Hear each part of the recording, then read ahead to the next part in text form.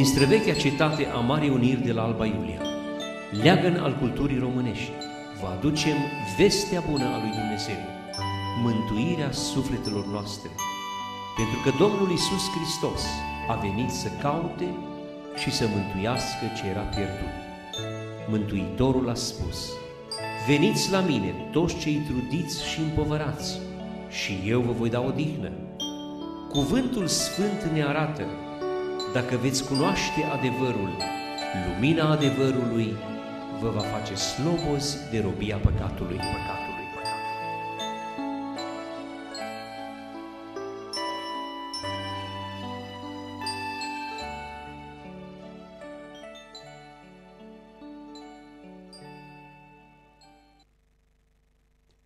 Bună seara, stimați telespectatori și bun găsit din nou la emisiunea Miracolul Creștin. Sunt pastorul Marius Hasegan, oaspetele dumneavoastră în această seară de duminică, o seară binecuvântată de Dumnezeu și suntem aici înaintea lui Dumnezeu ca să vestim din nou cuvântul adevărului. Ne spune Sfânta Scriptură că adevărul ne face sloboz de robia păcatului. Mulțumim lui Dumnezeu pentru cuvântul său care l-a trimis nouă oamenilor ca să fie întrupat Fiul lui Dumnezeu Iisus Hristos care a venit să moară pe crucea de la Golgota pentru păcatele omenirii și a murit și pentru păcatele noastre. Vrem ca și în această seară să fie o părtășie frumoasă, să putem să continuăm prezentarea subiectului nostru legat de Apocalipsă. Am ajuns deja la a cincea emisiune și cred că mai mergem vreo 4-5, nu mai știu exact dar ne bucurăm să putem să cunoaștem aceste taine ale Sfintelor Scripturi, spune uh, Sfânta Scriptură acolo la începutul Apocalipsei, ferice de cine citește, de cine ascultă și de cine împlinește aceste lucruri. Așa că va fi o mare fericire pentru cei ce cunoaștem, împlinim, ascultăm cuvântul lui Dumnezeu și această descoperire. Apocalipsa este o taină, este o descoperire pe care Dumnezeu i-a dat-o apostolului Ioan la bătrânețe, izolat, exilat în insula Patmos, acolo uh, Ioan este cel ce uh, scrie această carte, ultima carte a Sfintei Scripturi, care tratează lucrurile care urmează să se întâmple. Încă nu s-au împlinit toate și urmează să se întâmple și cred că se vor întâmpla și se vor împlini în zilele noastre. Am ajuns până la capitolul 11, unde o să continuăm în această seară, dar înainte de a intra în cuvânt, haideți să facem o rugăciune ca de obicei, să chemăm numele Domnului, să-L rugăm ca Dumnezeu să ne sprijinească și în această seară și să zădărnicească orice plan vrăjmaș, să putem să facem lucrarea în liniște și pace. Doamne Dumnezeule, înaintea sfințeniei tale venim în numele Domnului nostru Isus Hristos, Mântuitorul nostru, Fiul tău preibit, și te rugăm, Doamne, să binecuvântezi tu această emisiune, să lași ungerea ta proaspătă peste robul tău, să dai călăuzire prin Duhul Sfânt, să nimicești orice plan vrăjmaș, să binecuvântezi televiziunea Alba Carolina TV, asistența tehnică, să binecuvântezi rețeaua de transmisie, Doamne, că acolo unde se va transmite această emisiune, ea să facă un impact, să cerceteze inimile oamenilor, cei care au fost rânduiți de tine, Doamne, și în această seară să primească cuvântul și adevărul tău ca să fie slobos de robia păcatului. Îngerii tăi să tăbărască în jurul nostru, Doamne, și încă o dată, fă ca această emisiune să fie o binecuvântare pentru toți cei ce văd și ascultă. De aceea binecuvintează telespectatorii noștri, deschide inima la cuvântul tău și ajută-ne, Doamne, ca încă o dată cuvântul tău să ajungă până la marginile pământului. Îți mulțumim, Tată, încredințăm această lucrare în mâna și în brațul tău și credem că tu și numai tu ești cel ce poți să faci nespus mai mult decât înțelegem să o pricepem noi. Și noi îți mulțumim, Tată, în numele Domnului nostru Isus Hristos și prin Duhul Sfânt. Aleluia. Amin. Amin. Vreau să vă anunț încă o dată, dacă este cu putință, cei care puteți să ne susțineți uh, în partea financiară, acestei misiuni și a lucrării din Biserica Maranata, deci așteptăm donații. Cei care puteți, vă invităm să veniți în Biserica Maranata, să vă faceți prezența acolo.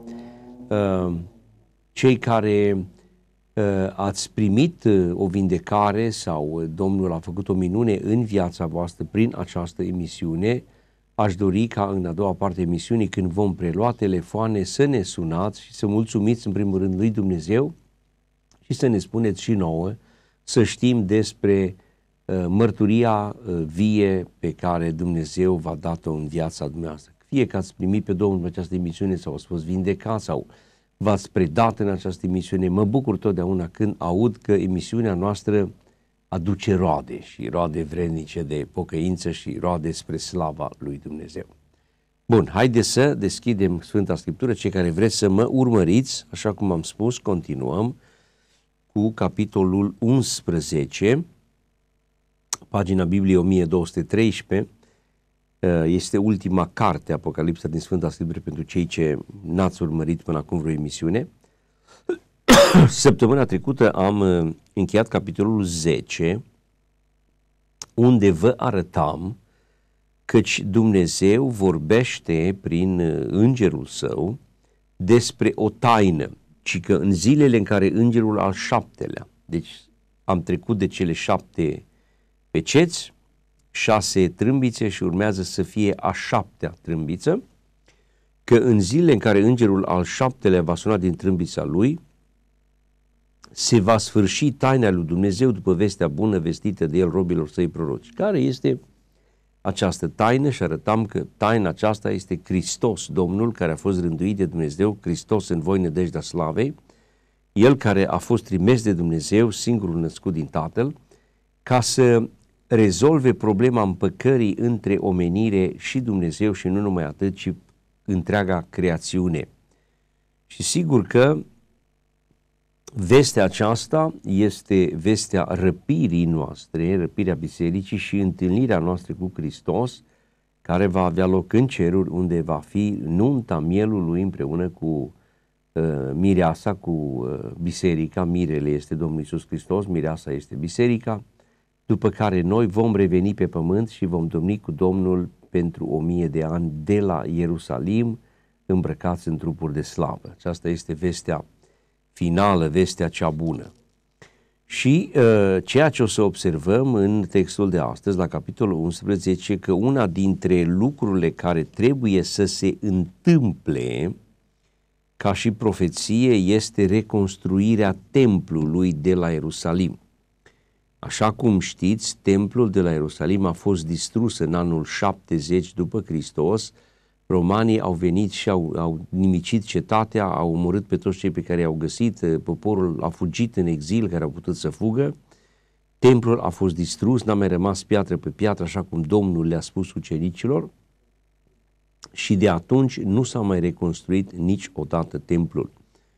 Evreii așteaptă împlinirea acestei prorocii, sunt gata ca să reconstruiască templul. Pentru o perioadă de timp a fost un pic de divergență, fiindcă uh, arabii uh, au construit acolo o moschee, se cheamă The Dome of Rock, și moscheea aceasta ei au construit-o acolo tocmai crezând că dacă vor construi moscheea pe vechiul amplasament al templului, templul nu va putea fi reconstruit. Ei, din, din fericire, să spunem așa, amplasamentul original al templului nu a fost acolo unde e moscheea, ci este undeva mai jos, și s-au făcut descoperiri arheologice și s-a dovedit că este loc să se reconstruiască templul și cele două clădiri să coexiste, lucru foarte important, în special pentru cei șapte ani de pace pe care Anticristul îi va semna cu uh, evreii, cu arabii, cu creștinii pentru perioada aceea de șapte ani de apocalipsă.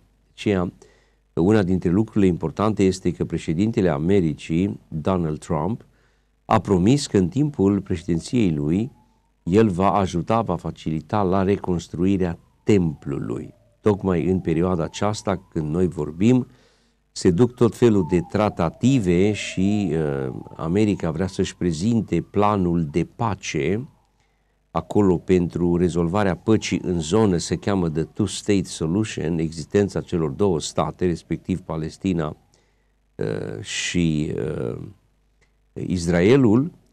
Și uh, așteptăm să vedem aceste lucruri care ne vor aduce noi informații și noi împliniri ale Apocalipsei. Dar haideți să începem capitolul 11 care spune astfel, apoi mi s-a dat o trestie asemănătoare unei prăjini și mi s-a zis, scoală-te și măsoară templul lui Dumnezeu, altarul și pe cei ce se închină în el. Sigur că pe vremea aceea nu existau rulete sau metru, cum folosim noi, ci erau niște prăjini, erau niște bucăți de trestie care reprezentau o anumită lungime și cu care se putea face măsurători a diferitelor obiecte. Dar curtea de afară a templului lasă la o parte nemăsurată căci a fost dată neamurilor, care vor călca în picioare sfânta cetate 42 de luni. Aici este un indiciu foarte important, căci după ce se va reconstrui templul, în curtea de afară a templului vor fi neamurile. Neamurile reprezintă celelalte popoare în afară de evrei. Și că neamurile vor fi acolo 42 de luni care reprezintă exact 3,5 ani. Deci vă spuneam că sunt 7 ani împărțiți în două, 3,5 și 3,5 ani. O să mai discutăm despre treaba asta. Voi da celor doi martori ai mei să prorocească îmbrăcați în saci 1260 de zile. Din nou, 1260 de zile nu este altceva decât 3,5 ani. Dacă împărțim 1260 la 360 de zile, plus minus, obținem exact 3,5 ani. Deci 3,5 ani sau 42 de luni sau 1260 de zile este același lucru. Foarte interesant cum Dumnezeu ne dă date precise dacă vrem să cercetăm și să vedem lucrurile. Acum este vorba de doi martori pe care Dumnezeu îi va folosi acolo în Israel și în special pentru poporul evreu ca să predice, să mărturisească despre Hristos. Aceștia sunt cei doi măslini și cele două sfernice care stau înaintea Domnului Pământului. Dacă umblă cineva să le facă rău, le iese din gură un foc care mistuie pe vrăjmașii lor și dacă vrea cineva să le facă rău, trebuie să piară în felul acesta. O să discutăm puțin cine pot fi acești doi martori al lui Dumnezeu. Spune că ei au putere să închidă cerul ca să nu cadă ploaie în zilele prorociei lor, au putere să prefacă apele în sânge, să lovească pământul cu orice fel de urgie, ori de câte ori vor voi.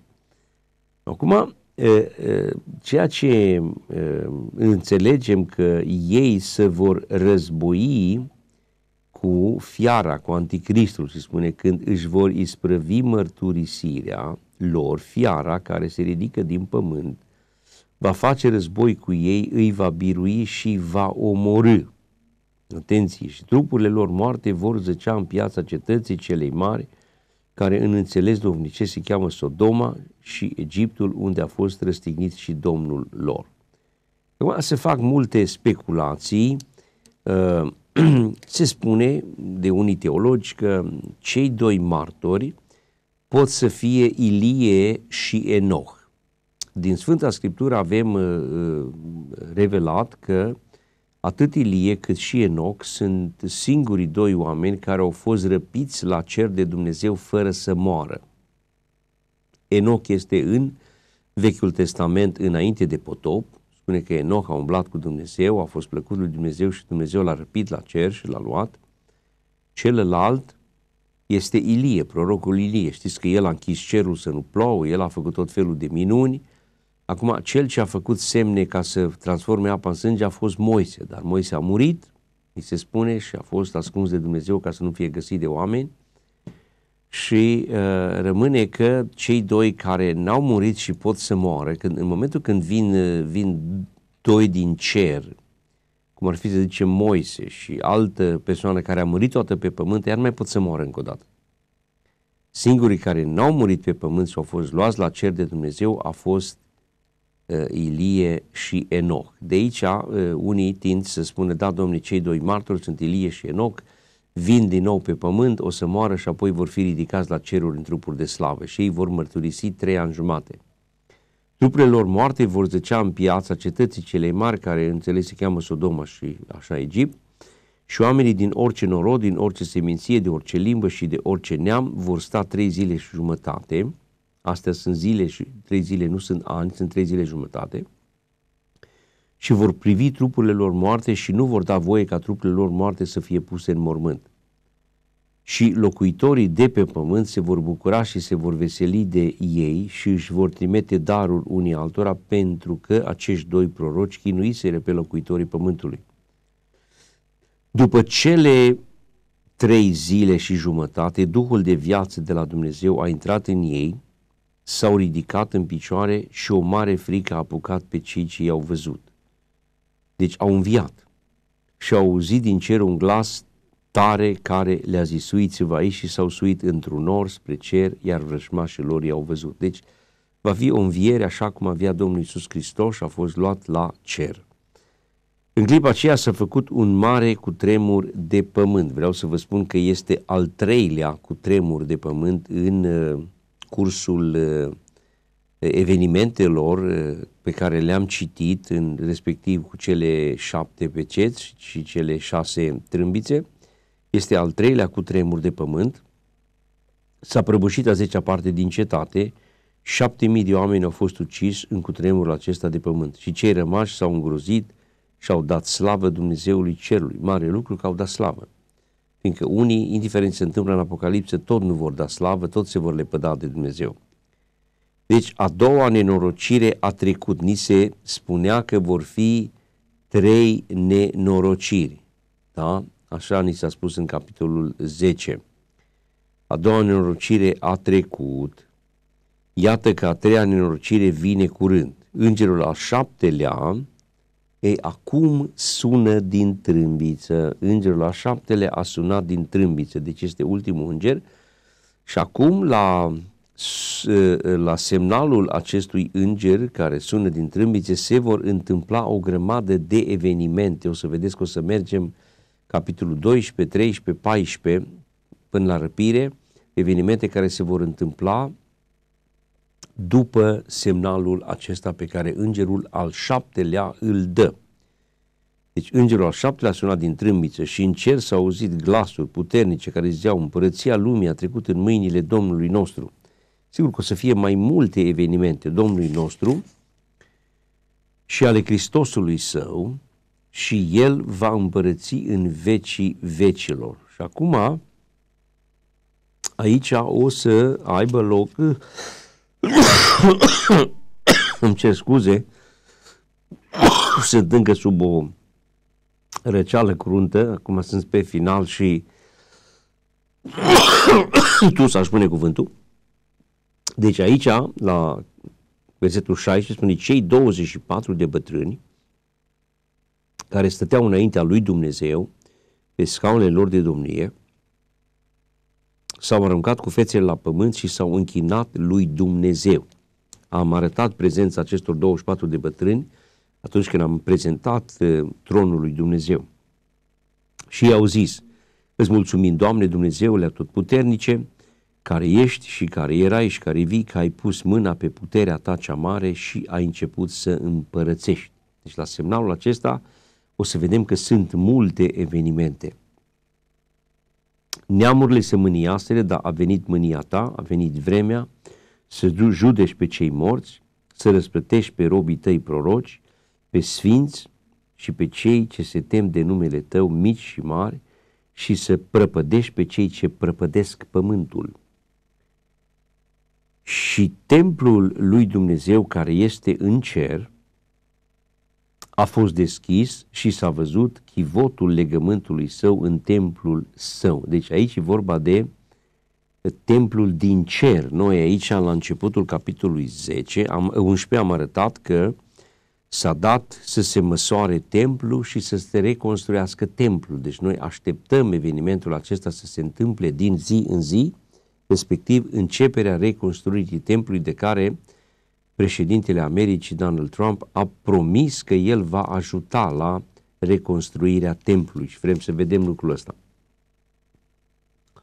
Deci, templul lui Dumnezeu care este în cer a fost deschis și s-a văzut chivotul legământului din cer în templul său și au fost fulgere, glasuri, tunete un cutremur de pământ și o grindină mare. Iată, din nou un cutremur de pământ este al patrulea cutremur de pământ în, în lista evenimentelor care se vor întâmpla. Acum, suntem la capitolul 12, unde vom vedea și aici o grupare de evenimente care vor prezenta și lucruri prezente și lucruri din trecut și apoi o să trecem la unul de cele mai importante capitole, capitolul 13, unde se face apariția și lansarea anticristului pe uh, scena mondială. Deci, continuăm capitolul 12. În cer s-a arătat un semn mare, o femeie învăluită în soare, cu luna sub picioare și cu cunună de 12 stele pe cap. Deci vreau să vă spun că femeia aici reprezintă statul Israel și cele 12 stele reprezintă cele 12 seminții ale lui Israel. Ea era însărcinată, țipa în durerile naștere și avea un mare chin ca să nască. Aici este vorba de nașterea Domnului Isus Hristos, atenție, deci lucruri care s-au petrecut. În cer s-a mai arătat un alt semn, iată, s-a văzut un mare balaur roșu cu șapte capete, zece coarne și șapte cununi împărățești pe cap, sigur că ăsta este diavolul și reprezintă fiara care se va ridica și care va își face apariția pe pământ, o să discutăm treaba asta, deci este un balaur roș cu șapte capete, șapte capete, zece coarne și șapte cununi împărătești pe, pe capetele acestea. Cu coada trăgea, trăgea după el a treia parte din stelele cerului și le arunca pe pământ. Vreau să vă spun că aici, v-am mai arătat și în emisiunea trecută, că stelele reprezintă și stelele cerești, care le vedem pe bolta cerească, dar reprezintă și îngeri, îngeri. E, aici vedem că diavolul, șarpele cel vechi, balaurul, a reușit să corupă o treime din îngerii lui Dumnezeu în răzvrătirea lui. Am discutat despre treaba asta în alte emisiuni. Diavolul s-a răzvrătit, el a fost un arhanghel, ocrotitor, un heruvim, în imediata prezență al scaunului lui Dumnezeu, el s-a ridicat, s-a mândrit și a vrut să fie ca cel prea înalt, Dumnezeu l-a pedepsit, l-a, l-a, l-a făcut simbolul răului și el care era de o frumusețe extraordinară, de o înțelepciune extraordinară, de o putere extraordinară, a devenit simbolul răului, a devenit diavolul, a devenit șarpele cel vechi, balaurul, care în răzvrătirea lui împotriva lui Dumnezeu a corupt o treime din miliardele de îngeri pe care Dumnezeu le are. Aici vedem că cu coada trăgea după el a treia parte din stele cerului și le arunca pe pământ. Balaurul a stătut înaintea femeii ca, care sta să nască pentru ca să-i mănânce copilul care îl va naște. Și acum vedem aici, deci v-am spus, sunt evenimente care s-au petrecut. Ea a născut un fiu, un, un copil de parte bărbătească și el este Domnul Isus. El are să cârmuiască toate neamurile cu un toiac de fier.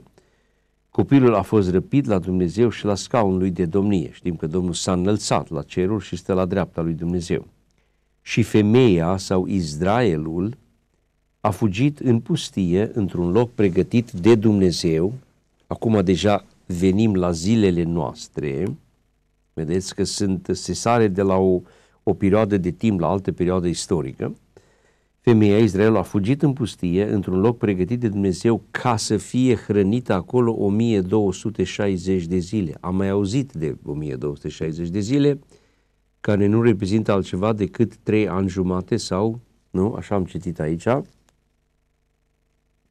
despre trei ani jumate sau uh, 1260 de zile sau 42 de luni, este același lucru. Deci în perioada aceea de apocalipsă, Israelul va fi uh, hrănit, va fi ocrotit de Dumnezeu pentru perioada aceea. Și în cer s-a făcut un război Vedeți? Aici uh, uh, diavolul se luptă cu îngerul Mihail și cu îngerii lui și sigur că diavolul va fi învins și va fi aruncat pe pământ. El acum încă are acces ca să meargă înaintea lui Dumnezeu și să ne pârască. în uh, perioada când se vor întâmpla aceste lucruri, el va fi aruncat din cer, nu îi se va mai găsi locul acolo, el va fi doar pe pământ și împreună cu îngerii lui și cu dracii lui și cu duhurile lui necurate vor căuta să piardă cât mai mulți oameni, fiindcă știe că timpul este scurt. Și spune așa, și în cer s-a făcut un război, Mihail și îngerii lui s-au luptat cu Balaurul, Balaurul cu îngerii lui s-au luptat cu ei, adică cu, cu îngerul uh, Mihail. Dar n-au putut birui cine? Diavolul n-a putut birui și locul lor nu li s-a mai găsit în cer. Și Balaurul cel mare, șarpele cel vechi numit diavolul și satana, acela, acela care înșală întreaga lume a fost aruncat pe pământ și împreună cu el au fost aruncați și îngerii lui. Vedeți? Deci trebuie să fim foarte atenți să înțelegem că îi se prezenta aici în capitolul 12 că a apărut acest uh, balaur roșu, un balaur mare, care trăgea după el a treia parte din stelele cerului, din îngerii lui Dumnezeu și el uh, a făcut război cu îngerul Mihail, care este unul dintre uh, marii îngeri al lui Dumnezeu, arhanghel care se luptă pentru poporul lui Dumnezeu. Și Mihail împreună cu îngerii lui s-au luptat cu balaurul sau cu șarpele cel vechi, cu diavolul. Și sigur că n-au putut să biruiască și Dumnezeu i-a aruncat pe pământ și balaurul cel mare, șarpele cel vechi, numit diavolul, acum, în perioada asta care încă nu s-a întâmplat. Că vin frații și spun niște lucruri care nu sunt, domne, diavolul nu mai are nicio putere, gata, a fost învins, a fost aruncat. Nu e adevărat, el vine pe pământ și încă face prăpăd mare. Dar încă are acces în cer, încă el se duce și ne părește înaintea lui Dumnezeu și înaintea Domnului Isus Hristos. Deci evenimentul acesta nu s-a întâmplat, încă urmează să se întâmple la șaptea trâmbiță, da? Deci, balaurul cel mare, șarpele cel vechi, numit diavolul, satana, acela care înșela întreaga lume, a fost aruncat pe pământ și împreună cu el au fost aruncați și îngerii lui, de care ne vorbește în uh, versetul 4 despre aceea, acea treime de stele sau de îngeri. Și am auzit în cer un glas tare care zicea, acum a venit mântuirea, puterea și împărăția Dumnezeului nostru. Deci acum, când El este aruncat, sigur că se vor întâmpla mai multe evenimente până la răpirea bisericii, o să vedem, dar aceste evenimente urmează una după alta. Acum a venit mântuirea, puterea și împărăția Dumnezeului nostru și stăpânirea Hristosului Lui. Deci stăpânirea Domnului pe pământ nu va începe decât la terminarea Apocalipsei. Deci intrăm în Apocalipsă, se termină cele șapte trâmbițe, se termină cele șapte potire și de-abia Domnul în final coboară la lupta mare de la Armagedon, unde vine și cu suflarea gurii nimicește toată oastea aceea de vreo 200 de milioane de ostași. Anticristul și prorocul micinos sunt aruncați în neazul de foc, diavolul este legat pentru o mie de ani și se începe domnia de o mie de ani pe pământ de la Ierusalim. Atenție ca să, fim, să, să înțelegem lucrurile. Deci, acum a venit mântuirea, puterea și împărăția Dumnezeului nostru și stăpânia Hristosului, pentru că pârâșul fraților noștri, deci diavolul, care zi și noapte îi pâra înaintea Dumnezeului nostru, a fost aruncat jos pe pământ. Deci, vedeți? Diavolul ne părăște zi și noapte înaintea lui Dumnezeu. Pentru toate faptele rele și toate lucrurile pe care noi le facem, el scrie o plângere și o duce înaintea lui Dumnezeu și o pune împotriva noastră. Acolo în ceruri este un tribunal, așa cum este pe pământ, sunt tribunale și este partea acuzării și partea apărării. Acolo diavolul este partea acuzării care ne acuză continuu înaintea lui Dumnezeu. Domnul Iisus Hristos reprezintă partea apărării. Dacă pâra pe care diavolul o aduce împotriva ta sau împotriva mea nu este acoperită de sângele Domnului, care este singurul care poate să facă ispășire pentru păcatele noastre, ele rămân înaintea lui Dumnezeu și suntem gata de pedeapsă.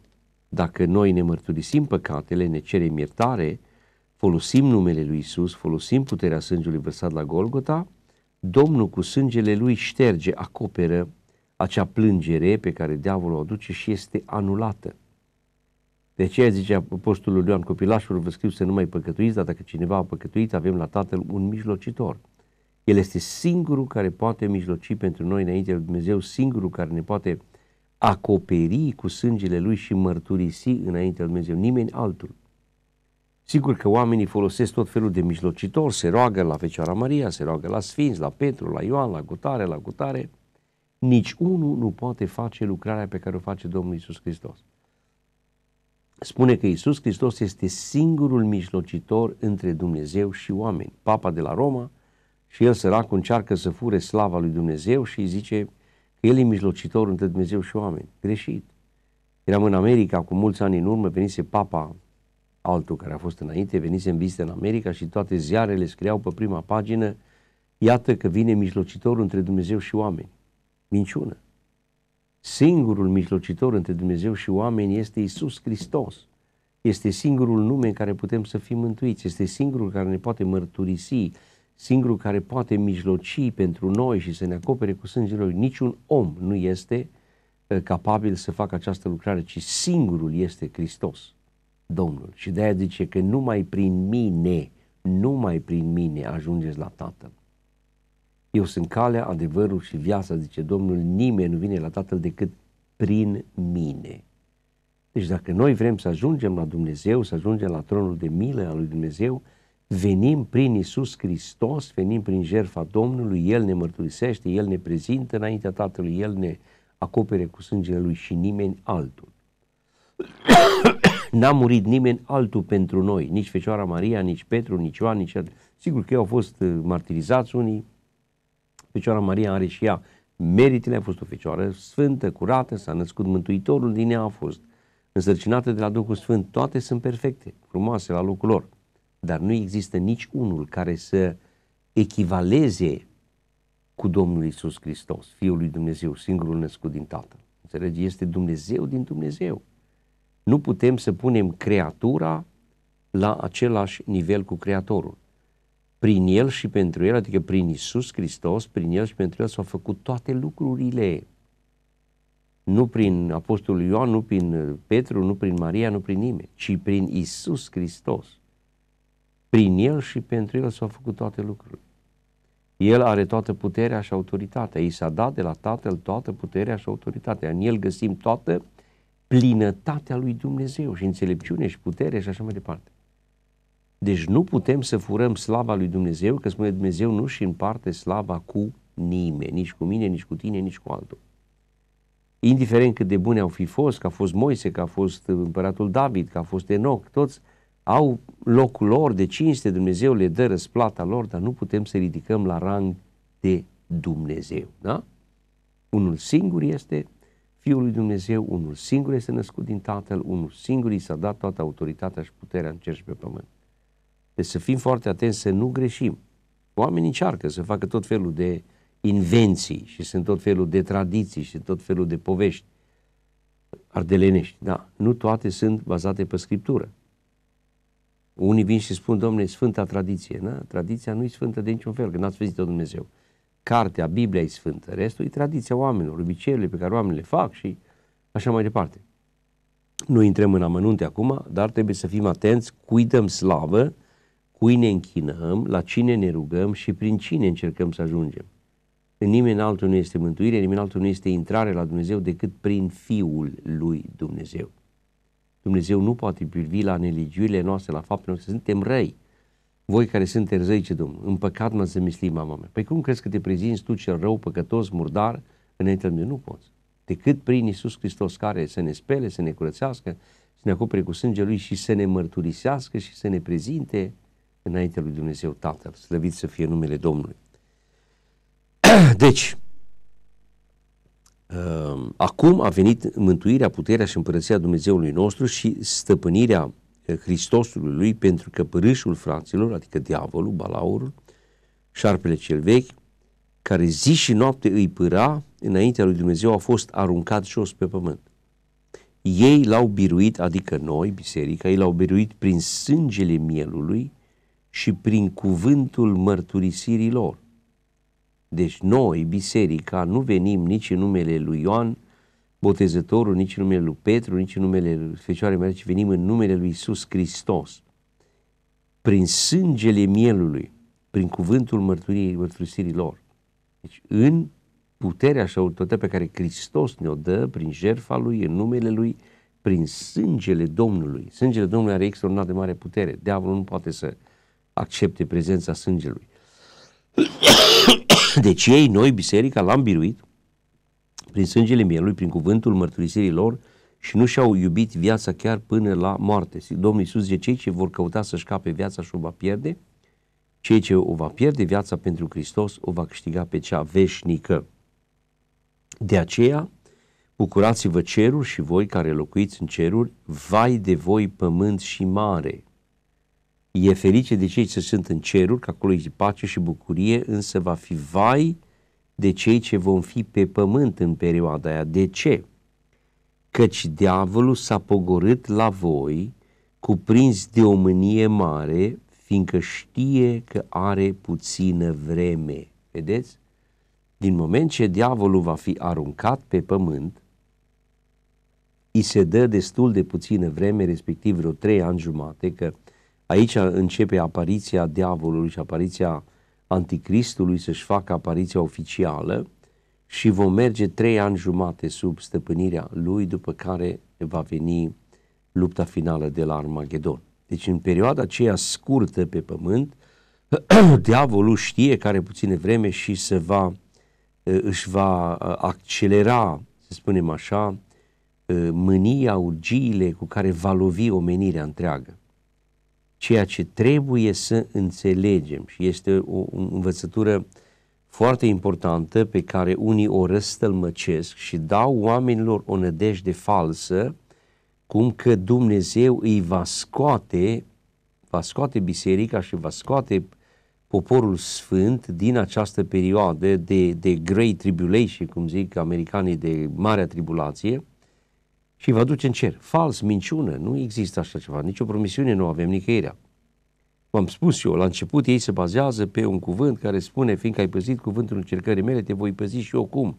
Nu scoțându-te, ci te voi păzi în încercare o să vedeți că imediat când intrăm în capitolul 13 și o să vă arăt și versete din Daniel, Daniel este unul dintre cei mai preciși proroci care vestesc în Vechiul Testament Apocalipsa, ne spun foarte clar că în timpul Apocalipsei, în timpul când Anticristul va face lucrarea, puterea poporului sfânt va fi zdrobită de tot. Cine este poporul sfânt? Noi, noi, biserica. Deci ca să fie puterea poporului sfânt zdrobită de tot, noi trebuie să intrăm în Apocalipsa, altfel nu se poate. Pe cine să zdrobească diavolul dacă biserica e răpită? Cu cine să se lupte diavolul? Că ceilalți care nu sunt biserica sunt ai lui. Nu cu ea să luptă, care sunt deja pierduți, păcătoși, sortiți uh, pieirii și iadului, el se luptă cu biserica. Se luptă cu poporul lui Dumnezeu, care este pe pământ în perioada aceea și lăsați ca să fim martirizați, să fim încercați, de aceea va fi o mare lepădare de credință, vor fi niște urgii extraordinare, vor fi încercări foarte grele, va fi o, o persecuție cum n-a mai fost niciodată de, la, de când este pământul. Domnul Iisus Hristos vine și spune acolo că dacă zilele acelea n-ar fi fost scurtate, n-ar fi scăpat nimeni pe pământ, dar din cauza celor aleși. Păi cine sunt cei aleși? Poporul lui Dumnezeu, noi, biserica. Din cauza celor aleși au fost scurtate ca să nu fie poporul nimicit de tot atenție, că trebuie să fim foarte atenți la aceste lucruri. Bun, mergem mai departe. Deci, căci diavolul s-a pogorât la voi, cuprins de o mânie mare, fiindcă știe că are puțină vreme.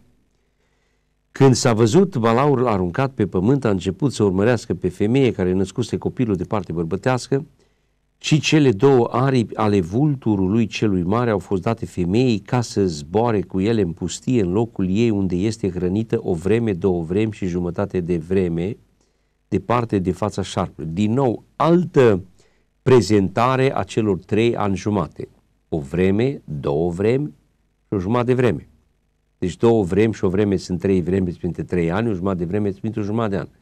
V-am arătat, Domnul zice 42 de luni, trei ani jumate, 1260 de zile sau o vreme, două vremi și o jumătate de vreme. Deci, ceea ce vreau să vă spun aici este un secret, mă rog, foarte mare, cele două aripi ale vulturului. Cine este vulturul cel mare? Au fost date cine este femeia, am arătat femeia este Israelul, cine este vulturul? vulturul este America.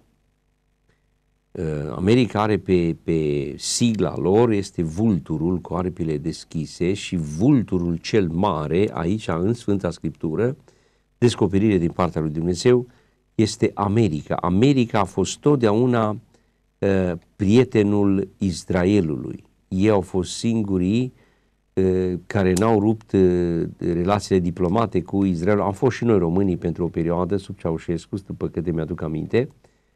Toate celelalte state au, uh, au rupt relațiile diplomatice cu Israel, nu au vrut să recunoască statul Israel.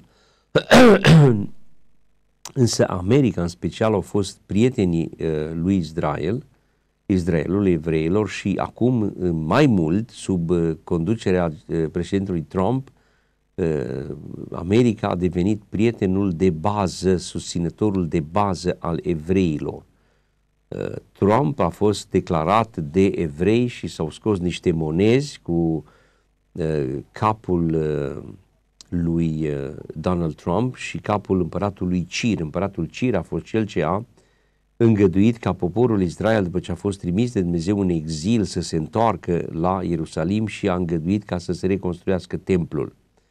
Evreii îl văd pe Donald Trump ca un fel de Cir, un împărat care uh, să susțină reconstruirea templului și să susțină întoarcerea evreilor în Ierusalim și sigur că să susțină protecția uh, evreilor. De aia spune că cele două aripi ale vulturului celui mare au fost date femeii, adică Israelului, ca să zboare cu ele în pustie, în locul ei unde este hrănită o vreme, vrem și jumătate de vreme, deci trei ani și jumătate. Și atunci șarpele a aruncat din gură apă ca un râu după femeie ca să o ia râul, dar pământul a dat ajutor femeii, pământul și-a deschis gura și a înghițit râul pe care, pe care îl aruncase balaurul din gură. Și acum asigur că balaurul, zice, mâniat pe femeie, s-a dus să facă război cu rămășița seminței ei care păzesc poruncile lui Dumnezeu și țin mărturia lui Isus Hristos.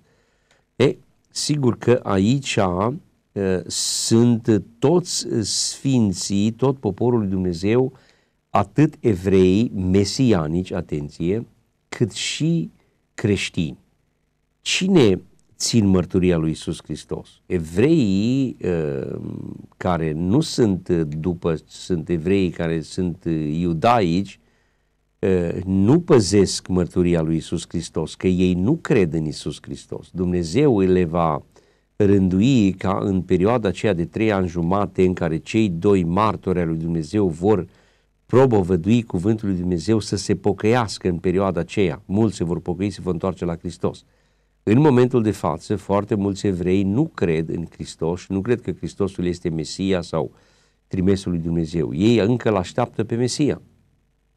Înțelegeți? Dar sunt unii dintre ei, se numesc evrei mesianici, care cred în Mesia, cred în Hristos și aceia împreună cu biserica lui Hristos formează poporul sfânt al lui Dumnezeu și Balaurul va face război cu ei ca să-i nimicească. Deci și Balaurul mâniat pe femeie s-a dus să facă război cu rămășița seminței ei, adică cel, cei ce sunt mesianici, care păzesc poruncile lui Dumnezeu și țin mărturia lui Isus Hristos. Foarte important, mărturia lui Isus Hristos. Deci care îl mărturisesc pe Isus Hristos. Ei, cu aceasta încheiem capitolul 12, foarte important capitol, de a înțelege evenimentele care se vor petrece în Israel, noi tot timpul trebuie să privim la Israel ca la ceasornicul lui Dumnezeu. Dumnezeu nu face nimic fără să-și anunțe planurile lui și întâi le anunță în Israel și apoi se întâmplă cu neamurile. Noi suntem neamurile, Israelul este poporul lui Dumnezeu. Acum intrăm în capitolul 13, fiindcă ăsta este un capitol foarte important, nu cred că o să ajungem și în 14. Lăsăm 14 pentru data viitoare, că acolo sunt foarte multe evenimente importante, dar măcar să vedem lansarea aceasta a anticristului, a acestei fiare, cum o numește Sfânta Scriptură. Apoi am stătut pe nisipul mării și am văzut ridicându-se din mare. Deci vreau să vă spun că marea, în general, reprezintă popoarele, neamurile și pământul reprezintă pământul sfânt, reprezintă Israelul, ca și simbolistică. Deci, apoi am stătut pe nisipul mării și am văzut ridicându-se din mare, de se ridică dintre neamuri o fiară cu zece coarne, șapte capete, pe coarne avea zece cununi împărătești și pe capete avea nume de hulă. Deci noi am văzut că balaurul acesta, nu, am citit aici că balaurul uh, avea uh, și el uh, mai multe cununi, avea și el mai multe capete. Deci, uh, unde am citit, așa, și în cer s-a arătat un alt semn s-a văzut un mare balaur roșu cu șapte capete, zece coarne și șapte cununi împărătești, da? Deci, șapte capete, zece coarne, șapte cununi împărătești. Și acum aici vedem că această fiară, ca să se ridică din mare, are zece coarne la fel, șapte capete la fel, și pe capete avea zece cununi împărătești și pe capete avea nume de hulă. Deci e clar că fiara aceasta se ridică în puterea diavolului, în puterea acestei uh, fiare, în puterea acestui uh, balaur, acestui semn pe care Dumnezeu ni-l arată și ni-l prezintă la capitolul 12, un mare balaur roșu, diavolul, da? Fiara pe care am văzut-o semăna cu un leopard, avea labe ca de urs și gură ca o gură de leu. Balaurul, de, de care vorbisem în capitolul 12, i-a dat puterea lui, scaunului de domnie și o stăpânire mare. Așa cum Dumnezeu Tatăl i-a dat Domnului Isus Hristos stăpânire peste tot pământul, balaurul care este uh, Domnul împărăției întunericului și el încă stăpânește pe pământ acum. De ce? fiindcă omul a pierdut stăpânirea peste pământ în grădina Edenului, de acolo de unde Adam a primit stăpânire peste tot pământul, el prin uh, păcatul săvârșit a pierdut stăpânirea pe pământ, a, pământul a fost blestemat, omul a fost blestemat și cel ce a preluat controlul pe pământ a fost diavolul de șase mii de ani. Domnul Iisus Hristos spune într-o circunstanță, eu n-am nimic de a face cu stăpânitorul acestei lumi, diavolul. Diavolul când a venit și l-a încercat pe Domnul Iisus Hristos să fost ispitit în pustie după ce Domnul a fost botezat în râul Iordan, a dus în pustie și a fost ispitit. Una dintre ispite a spus închine-te mie și am să-ți dau stăpânire peste toate aceste împărății ale pământului. Și Domnul n-a zis că nu sunt ale lui, sunt ale lui. Deci în lume acum coexistă două împărății, împărăția luminii, care este împărăția Domnului Isus Hristos și noi toți creștinii și cei ce suntem născuți din Dumnezeu facem parte din această împărăție și împărăția întunericului, împărăția diavolului. Domnul spune că atunci când noi încheiem legământ cu El, în apa, apa botezului suntem strămutați, luați din împărăția întunericului și mutați în împărăția luminii. Nu suntem strămutați fizic, cele două împărății coexistă pe pământ, dar ni se șterge numele de acolo și ni se scrie numele în, în, în cartea lui Dumnezeu. Înțelegeți? Nu intrăm în amănunte acum. Bun, deci am văzut această fiară. Haideți să vedem uh, ce reprezintă această fiară. Această fiară nu reprezintă altceva decât o combinație a patru fiare care au existat de-a lungul istoriei și anume patru imperii care au fost pe pământ și au dominat uh, controlul asupra pământului de-a lungul istoriei. Și vreau să vă spun că prima a fost, uh, uh, a fost împărăția babiloniană sau Babilonul, care era reprezentată de leu, leul era simbolul lor. A doua mare împărăție a fost Medo-Persia, care era reprezentată de urs, a treia mare împărăție a fost Grecia, care era reprezentată de leopardul cu patru capete, și a patra împărăție a fost Roma, fiara cu zece coarne. Nu, acum dacă uh, începem să luăm câte ceva din fiecare, este o combinație a celor patru uh, imperii și patru fiare care reprezentau acele imperii, ne uităm și zice așa, fiara pe care am văzut-o semăna cu un leopard. Cine era leopardul? Era Grecia. Avea leabe ca de, avea, așa, avea labe ca de urs. Cine era ursul? Ursul era reprezentat de Medo-Persia. Și o gură ca o gură de leu. Cine era leul? Babilonul. Da?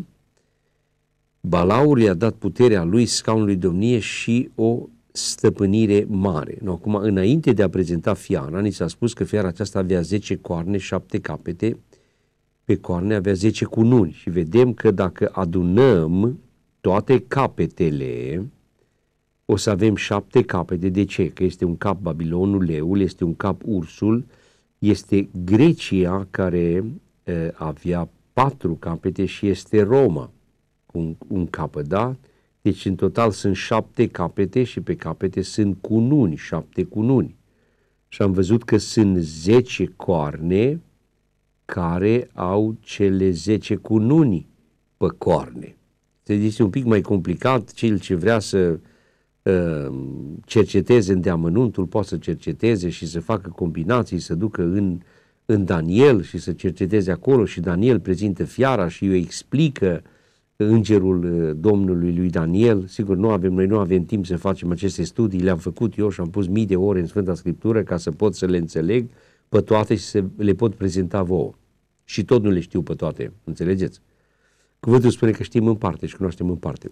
no, acum, ce este interesant este că unul din aceste capete, da? Șapte capete. Unul din capetele ei părea rănite de moarte. Dar rana de moarte fusese vindecată și tot pământul se mira după fiară. Deci se pare că anticristul, fiara aceasta care se ridică, Uh, și va domina pământul, unii teologi nu vin să spun, eu spune că anticristul va avea o rană de moarte, va fi împușcat, că ce se va întâmpla în cap. Diavolul sau satana îl va învia, așa cum a fost învierea Domnului Isus Hristos. Domnul a fost răzdinit și Dumnezeu l-a înviat. El va forma o trinitate satanică, respectiv balaurul, satana, Uh, anticristul și prorocul mincinos vor forma trinitatea satanică.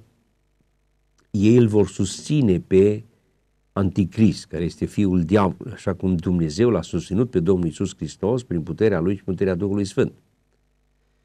Și, deci el avea o rană de moarte și totuși fusese vindecat și tot pământul se mira după fiară. Deci e clar că se va vedea o minune vădită de toți oamenii și sigur că prin intermediul uh, televiziunii internetului, toți vor să vadă această imagine și au început să se închine balaurului pentru că dăduse puterea lui fiare. Cine balaurul? Diavolul. La care fiara a dat putere? La anticrist. Și au început să se închine fiarei zicând cine se poate asemăna cu fiara și cine se poate lupta cu ea. Categorică, anticristul acesta va veni în numele păcii. L-am văzut lansat la început, când era calul alb.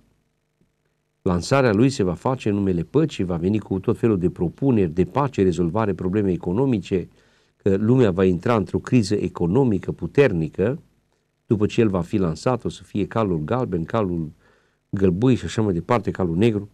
I s-a dat o gură, deci i s-a dat o gură care rostea vorbe mari și hule și i s-a dat putere să lucreze 42 de luni cât i s-a dat? 42 de luni. Din nou revine Dumnezeu cu aceeași lucrare. 42 de luni, 5 ani jumate, 1260 de zile sau o vreme, două vreme și o jumătate de vreme. Deci anticristul trebuie să lucreze și el trei ani jumate. Înțelegeți? Nu, fiți atenți. Ea și-a deschis gura și a început să rostească hule împotriva lui Dumnezeu, să-i să hulească numele, cortul și pe cei ce locuiesc în cer.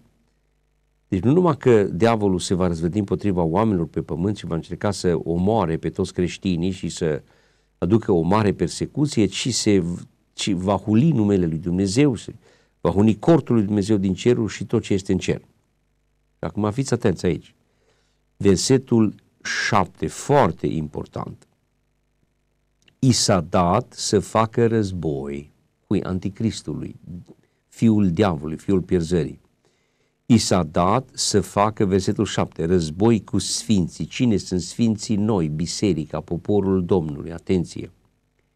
Și să-i biruiască, atenție. Deci i s-a dat putere să biruiască poporul lui Dumnezeu sau sfinții lui Dumnezeu. Deci a fost îngăduit să facă război cu sfinții și să-i biruiască și s-a dat stăpânire peste orice seminție, peste orice norod, peste orice limbă și peste orice neam. Deci aici este îngăduit de Dumnezeu această lucrare. Că ne place, că nu ne place, Dumnezeu îngăduie această, această lucrare ca diavolul să primească această putere, această autoritate, să biruiască poporul lui Dumnezeu, poporul sfinților și el să ia control peste orice i s-a dat stăpânire peste orice seminție, peste orice norod, peste orice limbă și peste orice neam. Asta în timpul Apocalipsei, în timpul celor trei ani jumate. Și toți locuitorii pământului, atenție, îi se vor închina. Cine? Toți aceia al căror nume n-a fost scris de la întemierea lumii în cartea vieții mielului care a fost junghiat. Alt secret enorm de mare. Deci, unii se vor închina și unii nu îi se vor închina. Păi cum, domne? Păi cei care vor cunoaște adevărul, cei care vor fi copiii Domnului în perioada aceea și vor avea numele scris în Cartea Vieții, v-am spus, unul din cele mai importante datorii ale noastre este ca în timpul vieții noastre până la ultima suflare, numele nostru să fie scris în Cartea Vieții, în Cartea Milului. Dacă nu vom fi scriși acolo, vom fi aruncați în foc. Și numele ni se scrie în Cartea Vieții atunci când noi încheiem legământ cu Hristos Domnul în apa botezului. Nu se poate altfel, indiferent câte fapte faci, indiferent cât de bun ești, indiferent ce vei face, se vinde uh, averea și vei da la săraci și îți vei da trupul să fie ars, n-are importanță ce faci, nu vei putea reuși să fii scris în Cartea Vieții decât atunci când închei un legământ cu Hristos în apa botezului ca să devii o făptură nouă dumnezeiască. Deci în perioada aceea toți care nu, toți locuitorii pământului, toți locuitorii pământului îi se vor închina. Toți. Toți acei al căror nume n-a fost scris de la întemeierea lumii, deci cei care au numele scris în Cartea Vieții, aceia vor cunoaște adevărul și vor ști că el este diavolul, este fiul pierzării, fiul diavolului, este anticristul, și că sub nici o formă nu avem voie să ne închinăm sau să primim semnul pe mână sau pe frunte. Atenție! Sunt unele denominații, sunt unii uh, care vin și spun, domnule, nicio problemă, poți să primești semnul pe mână sau pe frunte, că nu e nicio problemă, tu doar să-L ai pe Hristos în inima ta. Fals, fals, fals. Minciună, minciună, minciună. Atenție ce o să zică Biblia în continuare. Cine are urechi de auzit să audă. Cine duce pe alții în robie va merge și el în robie. Cine duce în rătăcire va fi dus și el în rătăcire. Cine ucide cu sabia trebuie să fie ucide sabie. Aici este răbdarea și credința sfinților. Va trebui să avem o răbdare extraordinară și o credință extraordinară ca să putem să biruim în vremea aceea. Domnul zice, oare voi găsi o credință când voi veni pe pământ? Va fi o foarte mare lepădare de credință tocmai din cauza urgiilor care vor veni pe pământ și luptei acestea pe care anticristul o va duce cu poporul sfânt. Mulți se vor lepăda. De ce? Fiindcă vă zice, domne, dacă nu te închini și primim semnul, îți luăm casa, îți luăm masa, te dăm afară din servicii, îți luăm bani, îți luăm copiii, îți punem la zid, îi executăm în fața ta și mai departe. Și oamenii vor ceda într-o formă sau alta. Și zice Domnul Iisus, cei ce vor căuta să-și cape viața și o vor pierde pe cea veșnică. Cei ce își vor pierde viața aceasta pieritoare de pe pământ, își vor câștiga viața veșnică. Vor fi foarte mulți martiri în perioada aceea. Apoi am văzut ridicându-se din pământ, deși nu mai se ridică din mare, cum s-a ridicat anticristul, de ce se va ridica undeva din comunitatea europeană, din pământ, din pământ o altă fiară. ăsta categoric va fi un evreu. Trebuie să fie un evreu, se ridică din, din Israel, un evreu care va susține prima fiară, va susține anticristul și el îl va valida într-o oarecare măsură că el este Hristosul, că evreii îl vor îmbrățișa. Evreii vor fi duși în eroare, cei care nu l-au pe Hristos și n-au, n-au uh, Duhul Sfânt care să le lumineze mintea. Ei îl vor accepta pe Anticrist și vor zice ăsta e Mesia, ăsta e izbăvitorul nostru, ăsta e trimesul lui Dumnezeu și îi vor da uh, uh, posibilitate să intre în templu. Templu trebuie reconstruit și după ce templul se va reconstrui, el va intra în templu și se va da drept Dumnezeu, va defăima templul și de-abia atunci evreii își vor da seama că de fapt el este un fals, de-abia atunci va fi împușcat în cap, de-abia atunci el va fi înviat de diavolul, de-abia atunci își va arăta adevărata putere și adevărata față. Înțelegeți? Deci trebuie să se ridice o altă fiară. Apoi am văzut ridicându-se din pământ o altă fiară care avea 10 coarne, cale unui miel și vorbea ca un balaur. Deci acesta este profetul mincinos, acest, această fiară. Ea lucra cu toată puterea fiarei dinaintea ei, adică cu puterea uh, anticristului pe care tot diavolul i-a dat-o și făcea ca pământul și locuitorii ei să se închine fiarei din tâi, a cărui rană de moarte fusese vindecată. Deci v-am spus, anticristul va avea o rană de moarte, diavolul îl va învia, toată lumea se va minuna, ce domne, ăsta e Hristosul, domne, ăsta e adevăratul Mesia care vine să ne salveze. Și toată lumea se va minuna de lucrurile pe care le face, susținut de această fiară care se cheamă profet, profetul mincinos, care se ridică din poporul evreu. Săvârșea semne mari până acolo că făcea chiar să, să se pogoare foc din cer pe pământ în fața oamenilor și amăgea pe locuitorii pământului prin semnele pe care îi se dădea să le facă în fața fiarei. Și ea, deci profetul acesta fals, ea vine și face o propunere. Ea a zis locuitorilor pământului să facă o icoană fiarei, o icoană care avea rana de sabie și trea, avea rana de moarte. Deci să facă o icoană, o imagine. Și această imagine va fi imaginea anticristului, care va fi o imagine care va vorbi, care va fi, uh, uh, uh, îi se va da o putere extraordinară, o să vă explic eu niște lucruri data viitoare poate, i s-a dat putere să dea suflare fiarei, deci fiara aceasta, imaginea aceasta va fi ca o imagine robotizată, așa cum avem acum acești roboți care vorbesc, care uh, fac tot felul de lucruri. Nu știu exact cum va fi lucrarea, Ați văzut că uh, sunt acum roboți inteligenți. Una dintre, unul dintre acești roboți era numită, am și uitat cum o cheamă, păi îi dau un nume de femeie și poate să stea de vorbă cu mii de oameni în același timp. Vă dați seama la ce inteligență au ajuns oamenii să creeze acești roboți. Deci să da putere să dea suflarea icoanei fiarei, ca icoana fiarei să, vor, să vorbească și să facă să fie omorâți toți cei ce nu se vor închina icoanei fiarei. Vă dați seama? va, va fi o, o, o, o folosire a tehnologiei care va exista, există acum și imaginați-vă că tehnologia înaintează și mai mult și când se va întâmpla această lucrare, uh, uh, oamenii vor putea să intre în legătură cu această uh, fiară, cu această imagine care este o imagine demonică. Soția mea a avut o descoperire din partea lui Dumnezeu cu ani în urmă și era într-o încăpere în care Dumnezeu i-a dat să vadă ce putere are această icoană și în, cam, în, în încăperea aceea era un apartament sau o casă, nu mai rețin, fiecare care cameră era câte un televizor din ăsta plat, o plasmă, pe perete și această imagine a diavolului, anticristului, apărea pe uh, televizorul acesta, pe această uh, plasmă și venea cu un salut. Te saluta, îți dădea un salut cum ar zice bună dimineața și tu trebuia să răspunzi. În momentul când tu răspundeai la salutul ei, uh, imaginea aceea îți lua controlul minții și te efectiv te controla. Și nevastă mi-a spus, am, îi fugeam dintr-o cameră în alta și unde mă duceam era aceeași imagine, era aceeași icoană vorbitoare pe ecran.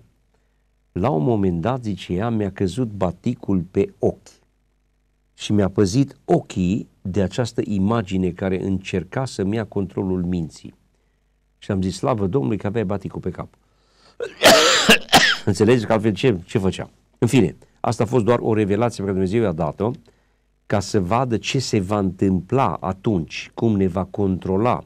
Și așa ne încearcă să ne controleze acum cu diferite lucruri și suntem ascultați și verificați și așa mai departe. Nu-i treaba mea, dar uh, nu suntem singuri. Totul se vede, totul se aude, totul se știe, totul se cunoaște, da? I s-a dat putere să dea suflare icoanei fiarei și ca icoana fiarei să vorbească, deci va vorbi, așa, și să facă să fie omorâți toți cei ce nu vor, se vor închina icoane. Vreau Nu te închini icoanei și nu primești semnul, vei fi omorât, clar. În America, sub președintele Obama, s-au, s-au răspândit 35.000 de ghilotine pentru decapitarea cui? Creștinilor. și a avut ca toți mici și mari, bogați, săraci, slobo și robe, adică toți, toate neamurile de pe pământ, că i s-a dat, așa am, am citit aici, că i s-a dat putere peste toate neamurile, peste tot, i s-a dat stăpânire peste orice seminție, orice norod, orice limbă și peste orice neam, da? I s-a dat putere să facă așa, mici și mari, așa, să, se, să primească un semn pe mâna dreaptă sau pe frunte. Și nimeni să nu poată uh, uh, cumpăra sau vinde fără să aibă semnul acesta, adică numele fiarei sau numărul numelui ei. Aici este înțelepciunea, cine are pricepere să socotească numărul fiarei, căci este un număr de om și numărul ei este 666. Nu intrăm în amănunte, că dacă este să vorbim despre 666, despre numele acesta, de ce reprezintă, putem vorbi alte cinci emisiuni.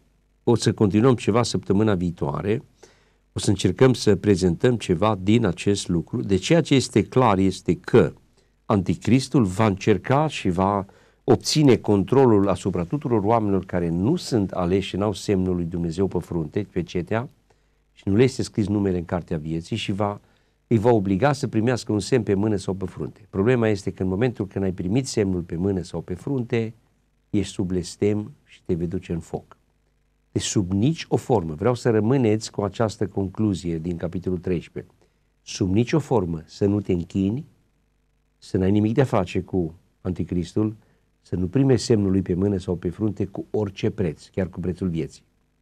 Vei încerca să scapi viața, vei pierde pe cea veșnică. Vei încerca să scapi copiii sau familia își vor pierde viața veșnică. Așa că trebuie să fie tras o linie clară, indiferent ce ni se oferă, indiferent ce ni se spune, indiferent ce promisiune ni se face, nu trebuie acceptat sub nicio formă, nu trebuie să acceptăm invitația diavolului de a primi semnul pe mână sau pe frunte, da? Ne oprim aici, mai uh, cercetăm săptămâna viitoare, revenim puțin cu câteva amănunte și continuăm capitolul 14, unde o să vedeți răpirea bisericii. Însă multe evenimente trebuie să se întâmple până acolo.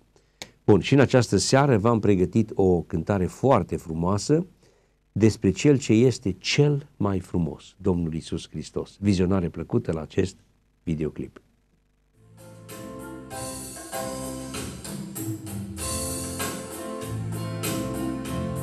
Venind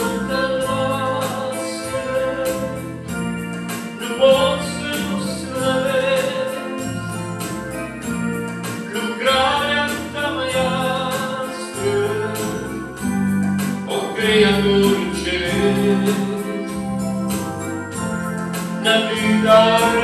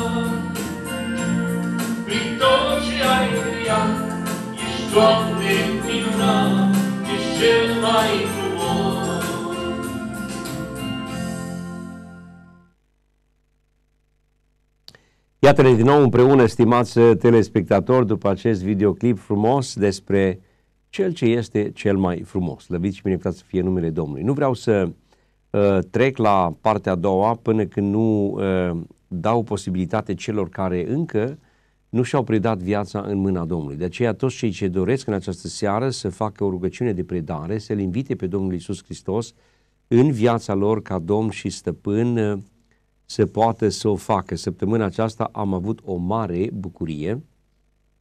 Uh, am reușit să uh, botez o soră, o femeie în vârstă de 93 de ani, 92 pe 93. Este a doua persoană peste 90 de ani, am botezat în Sebeș, un bărbat de vreo 93 de ani, acum un an sau doi. Săptămâna aceasta am reușit să botez încă o, un suflet, o soră, Maria, se cheamă, este mama la o soră din biserică, altă tot Maria este și ea.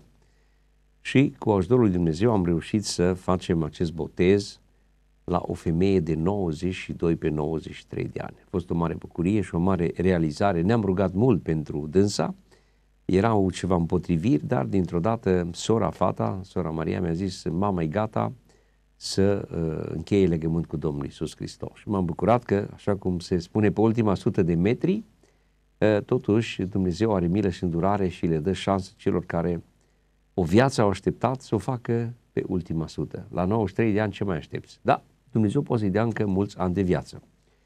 Bun, deci dacă ești unul dintre cei care încă n-ai încheiat legământ cu Domnul și dorești să-ți predai viața, te îndemn acolo în fața televizorului să îngenunchezi, să iei o poziție solemnă și să vii să repezi după mine această rugăciune și spune din toată inima, Doamne Iisuse Hristoase, am nevoie de Tine. Recunosc înaintea cerului și al pământului că sunt un păcătos, de aceea îmi mărturisesc toate păcatele, fără de legile și nelegirile mele și te rog, Doamne, să le ștergi, să le arunci în marea uitării. Eu cred, Doamne Iisuse, că Tu ești Fiul lui Dumnezeu, care ai venit de la Tatăl Ceresc, te-ai întrupat pe acest pământ, te-ai născut din Fecioara Maria, ai trăit pe acest pământ, te-ai lăsat, Doamne, răstignit pe crucea de la Golgota și ai murit pentru păcatele omenirii și cred, Doamne, că ai murit și pentru păcatele mele. Eu cred, Doamne, că Tu ai înviat a treia zi, te-ai ridicat la ceruri și stai la dreapta lui Dumnezeu și în această seară Tu mijlocești și pentru mine. De aceea, te primesc în această seară în inima mea, în viața mea și vreau ca începând de astăzi să fii Domnul meu, stăpânul meu, să preiei Tu viața mea sub controlul și ocrotirea Ta și să mă faci, Doamne, ca să trăiesc după voia Ta cea sfântă, curată și desăvârșită. Ajută-mă, Doamne, să pot să închei un legământ cu Tine în apa botezului, ca numele meu să fie scris în cartea vieții, să fiu o făptură nouă și să fiu pecetluit cu Duhul Sfânt. Și îți mulțumesc, Tată, în numele Domnului nostru Isus Hristos. Amin, amin, amin. Cei care ați făcut această rugăciune este primul pas spre Dumnezeu. Discutam chiar astăzi cu o uh, surioară de la Sebeș care venise cu mama uh, ei să ne rugăm pentru ea și să ne rugăm pentru vindecare și ca ea să primească pe Domnul și îmi spunea, uh, zice, spuneți-le ceva de când v-ați întors dumneavoastră. Păi zic, eu m-am întors și eu de mulți ani de zile și Uh, cu 30 și uh, vreo 5 de ani în urmă, undeva în Chicago, într-o biserică, acolo mi-am predat viața în mâna Domnului și Domnul a luat de bună predarea mea și rugăciunea mea și decizia mea și mulțumesc din toată inima că am reușit să fac pasul acela și că Dumnezeu m-a dus acolo în America tocmai pentru o vreme ca aceasta – ca să mă pot întoarce aici în România și să prezint oamenilor adevărul și să-i ajut ca să se împace cu Dumnezeu. Glorie și mărire Domnului. Și în această seară o să luăm telefoane, dar nu înainte de a citi câteva cuvinte din uh, prorocul Isaia. Vreau să vă spun că tot ce facem noi aici este bazat pe promisiunea lui Dumnezeu. Dumnezeu nu vindecă că sunt eu un băiat frumos sau sunteți voi frumoși sau știu eu ce, sau aveți ceva merite, nu avem nimic. Dumnezeu, în dreptatea Lui, în dragostea Lui, în, în mila și îndurarea Lui, El ne vindecă, El ne mântuiește și așa mai departe.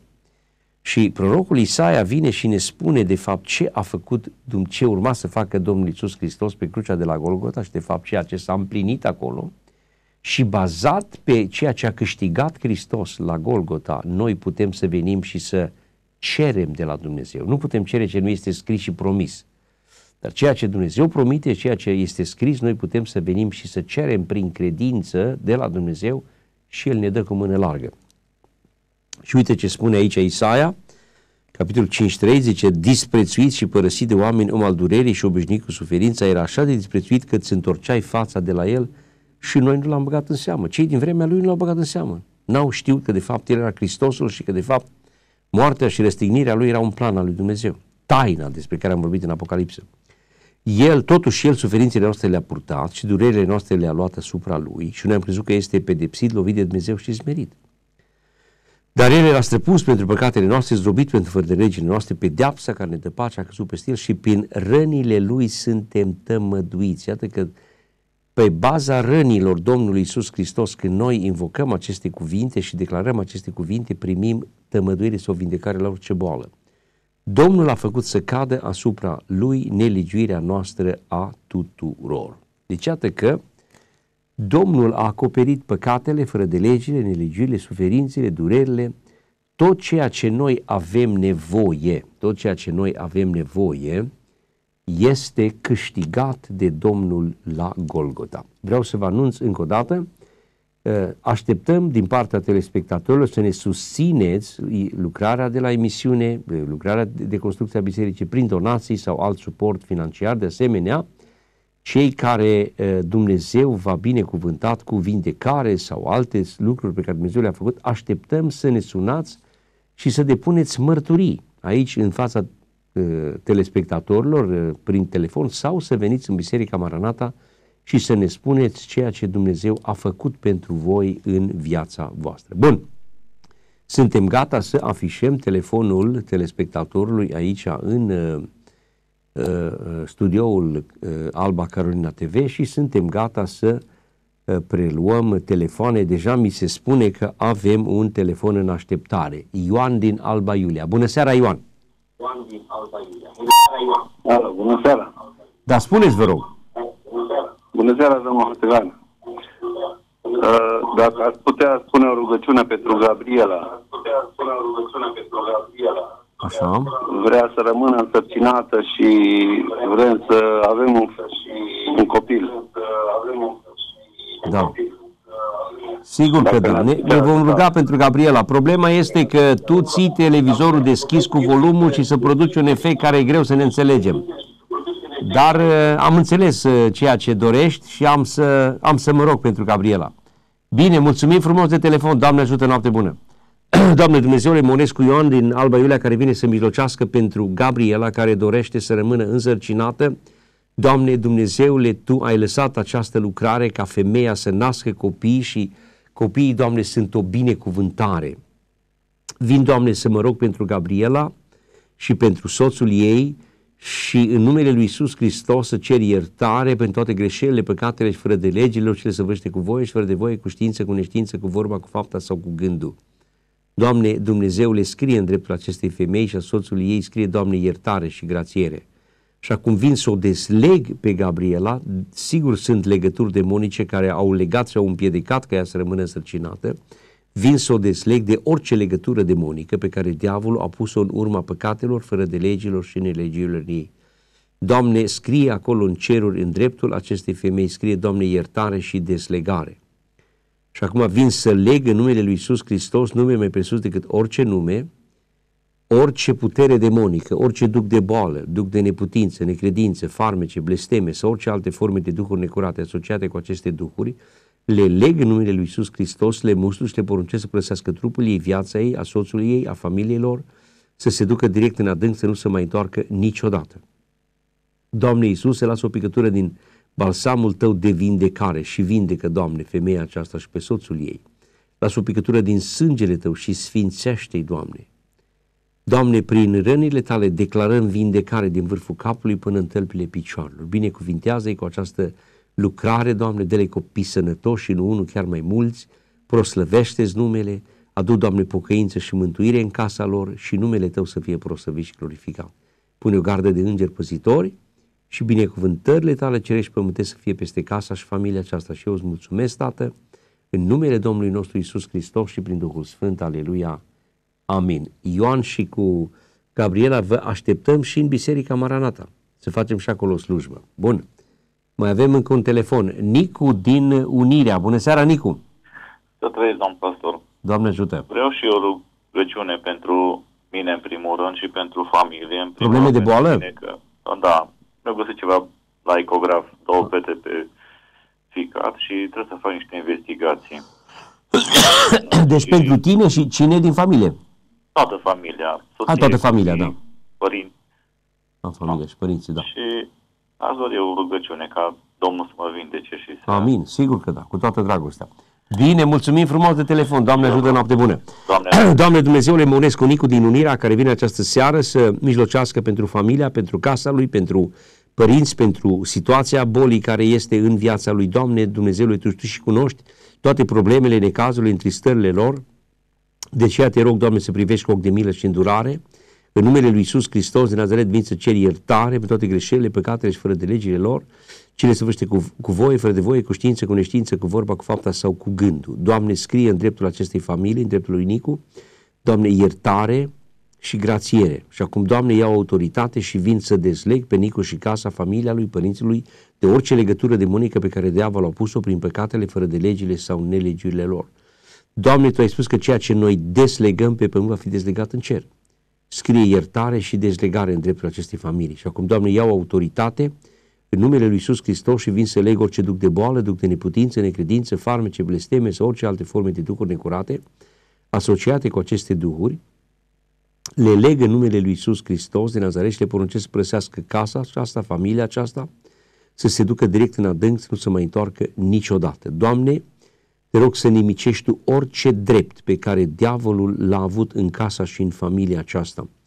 Nicule, dragă Domnule, iertă într-o vedenie că diavolul pusese un cârlig, avea un, un, un, un cârlig care, cu care v-a prins pe voi cu ceva în familia voastră. A fost ceva păcate, au fost ceva probleme cu care diavolul v-a agățat, cum se zice, însă ne rugăm ca Dumnezeu să nimicească acel plan rămaș. Doamne Iisuse, nimicește, Doamne, planul acela, dreptul acela pe care diavolul a avut în această familie, Doamne, acopere Tu cu sângele Tău cel sfânt, nimicește orice plan vrăjmaș și este scris că Tu te-ai arătat ca să nimicești toate lucrările diavolului.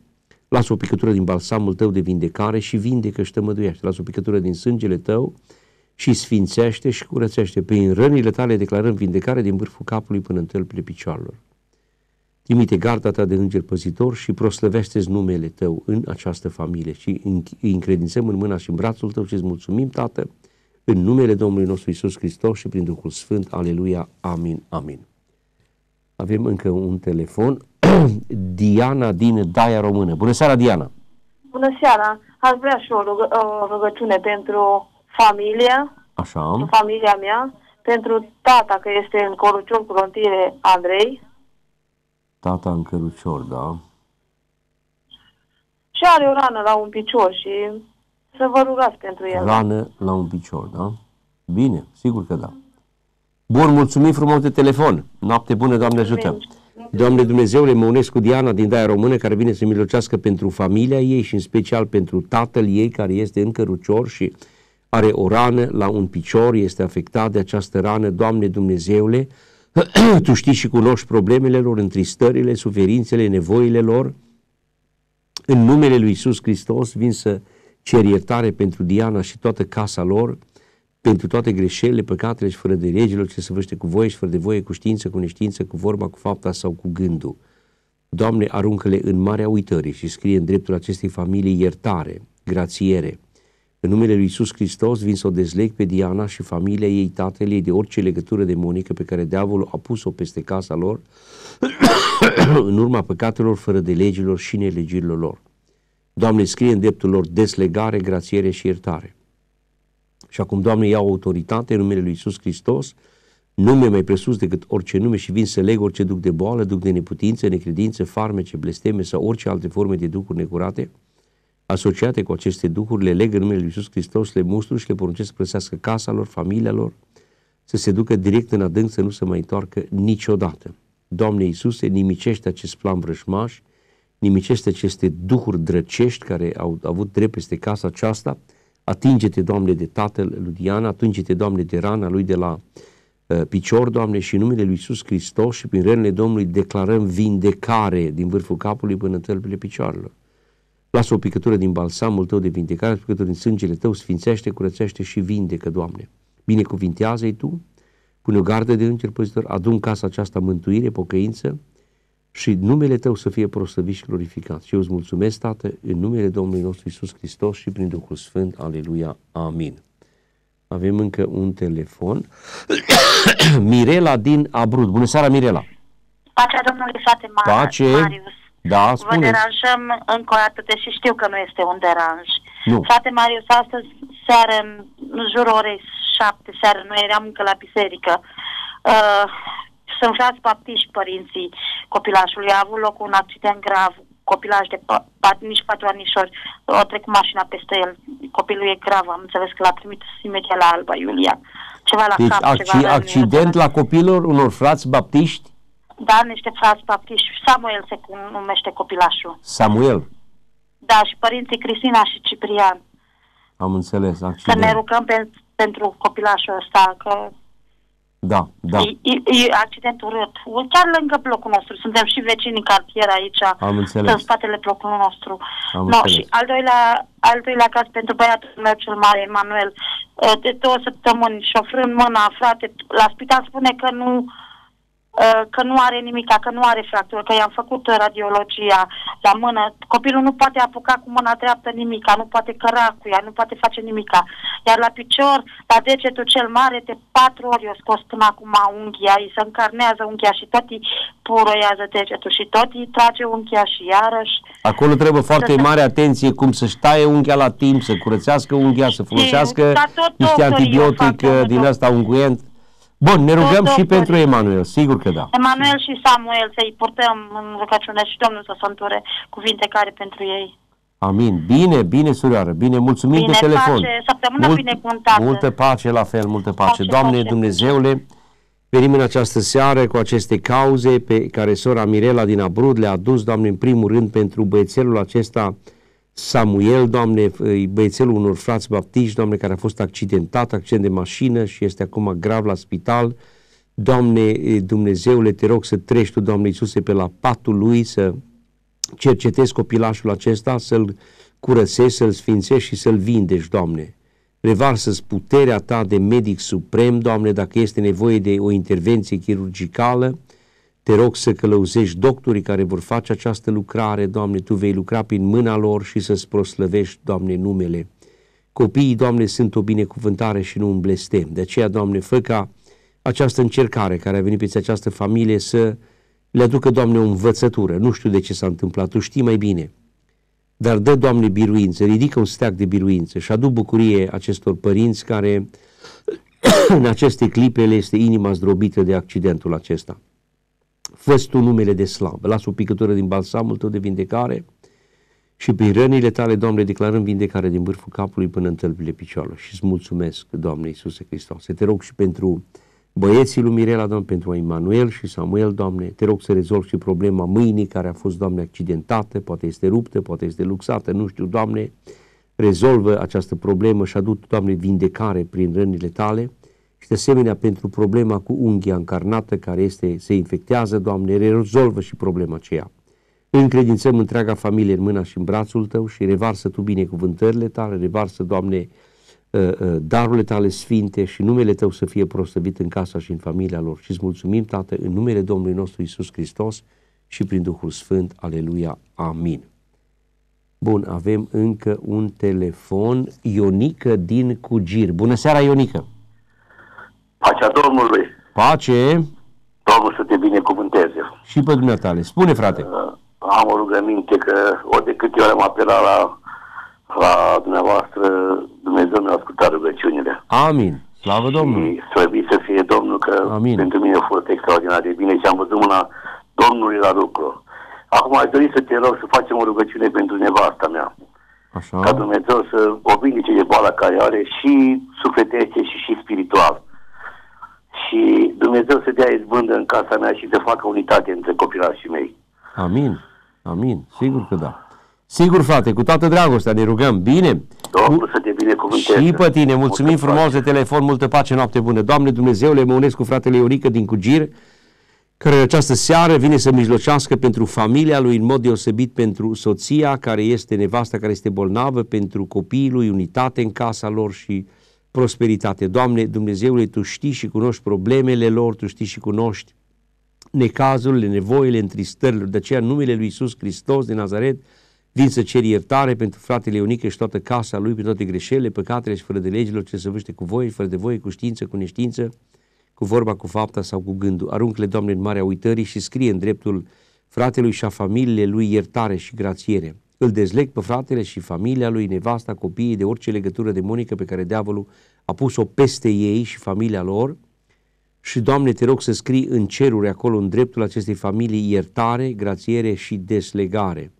Și acum iau autoritate peste orice duc de boală, duc de neputință, necredință, farmece, blesteme sau orice alte forme de duhuri necurate asociate cu aceste duhuri, le leg, le mustru în numele lui Isus Hristos și le poruncesc să părăsească casa aceasta, familia aceasta, pe e, sora bolnavă și copiii și toată casa lor și să se ducă direct în adânc să nu se mai întoarcă niciodată. Revarsă, Doamne, o picătură din balsamul Tău de vindecare, vindecă, Doamne, revarsă o picătură din sângele Tău și curățește și sfințește și prin rănile Tale, Doamne Iisuse, declarăm vindecare din vârful capului până în tălpile picioarelor. Adu, Doamne, pocăință, adu, Doamne, mântuire, revarsă binecuvântările Tale cerești și pământești și numele Tău să fie prostăvit și glorificat în casa și în familia aceasta. Și noi îți mulțumim, Tată, în numele Domnului nostru Isus Hristos și prin Duhul Sfânt. Aleluia. Amin, amin, amin. Bun, preluăm încă un telefon. Andrei din Teiuș. Bună seara, Andrei. Domnul pastor, Da, vă rog frumos să faceți o rugăciune și pentru mine, pentru familia mea și pentru da, copii familie. și pentru nevastă, mi-a plecat nevasta și am mai vorbit odată la telefon și Am dacă înțeles. vedeți un, un, un ceva să Să vă spun, sigur că da. îmi spune și mie, vă rog frumos, Nu trebuie să mă rugați frumos, datoria mea e să fac această lucrare și de aceea fac ceea ce fac ca să pot să vă ajut în măsura în care și Dumnezeu mă ajută pe mine. Bine, dragul meu, bine, o să ne rugăm și Dumnezeu să lucreze, să-ți dea biruință. Mulțumim vă rog frumos de telefon. Că nu mai pot, nu mai pot. Am înțeles, Domnul să-ți dea putere, Domnul să-ți dea putere. Bine, dragul meu. Bine, Doamne ajută, noapte bună. Doamne Dumnezeule, mă unesc cu Andrei din Teiuș, care în această seară vine, Doamne, să bată la ușa de milă și de îndurare, Doamne. El spune că nu mai poate, este într-o situație critică, bolnav, părăsit de nevastă.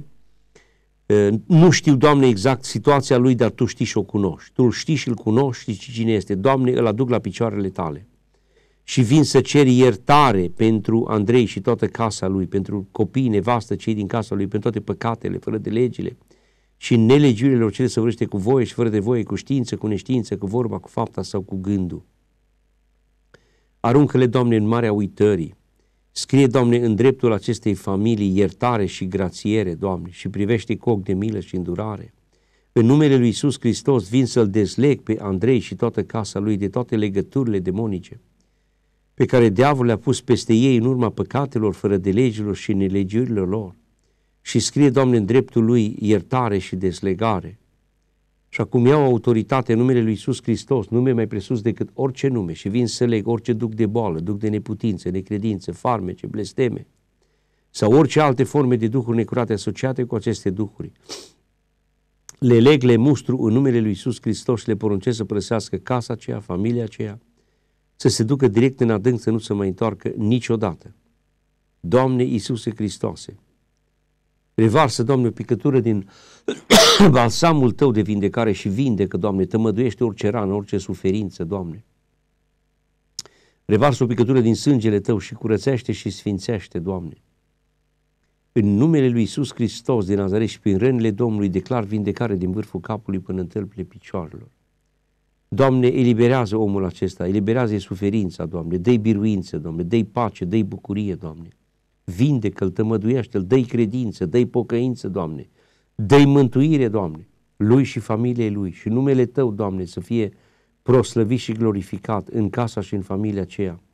Și eu îți mulțumesc, Tată, în numele Domnului nostru Isus Hristos și prin Duhul Sfânt. Aleluia. Amin, amin, amin.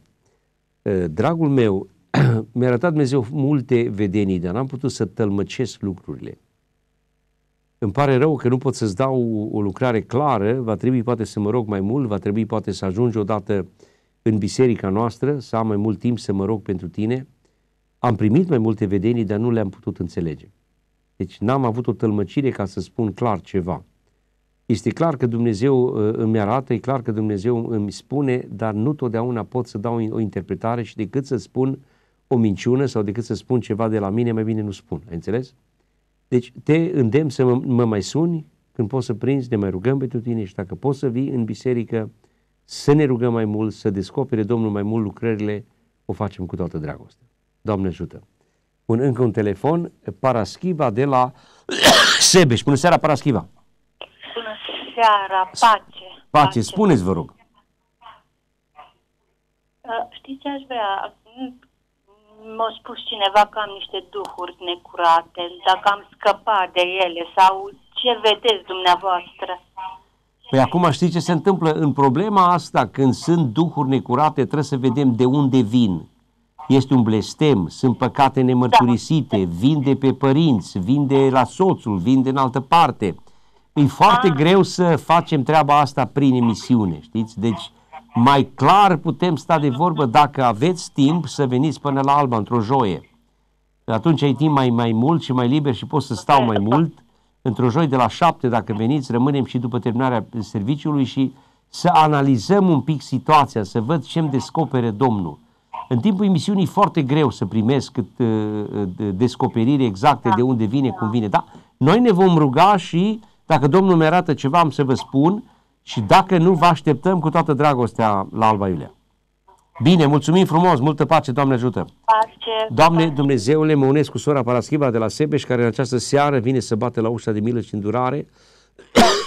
sora spune, Doamne, că ar fi alumite duhuri care au dreptul în casa, în familia lor. Da, Doamne, sunt atâtea situații, știm că diavolul lucrează și în urma păcatelor sau fără de legilor nemărturisite, nerezolvate, se pun blesteme și așa mai departe. Doamne, Tu știi și cunoști această problemă, de aceea vin să iau autoritate în numele Lui Iisus Hristos din Nazaret să cer iertare pentru sora Paraschiva, pentru toate greșelile, păcatele și fără de legile ei, ale familiei ei, ale întregii familiei, Doamne, să vrește cu voie, fără de voie, cu știință, cu neștiință, cu vorba, cu fapta sau cu gândul. Doamne, aruncă-le în marea uitării și scrie în dreptul surorii și a familiei lor iertare. Și a cuvins să dezleg pe sora de orice legătură demonică pe care diavolul a pus-o peste ea și casa ei în urma păcatelor, fără de legilor și nelegirilor lor. Draga mea, deja Dumnezeu mi-a arătat că aici a fost o legătură de vrăjitorie.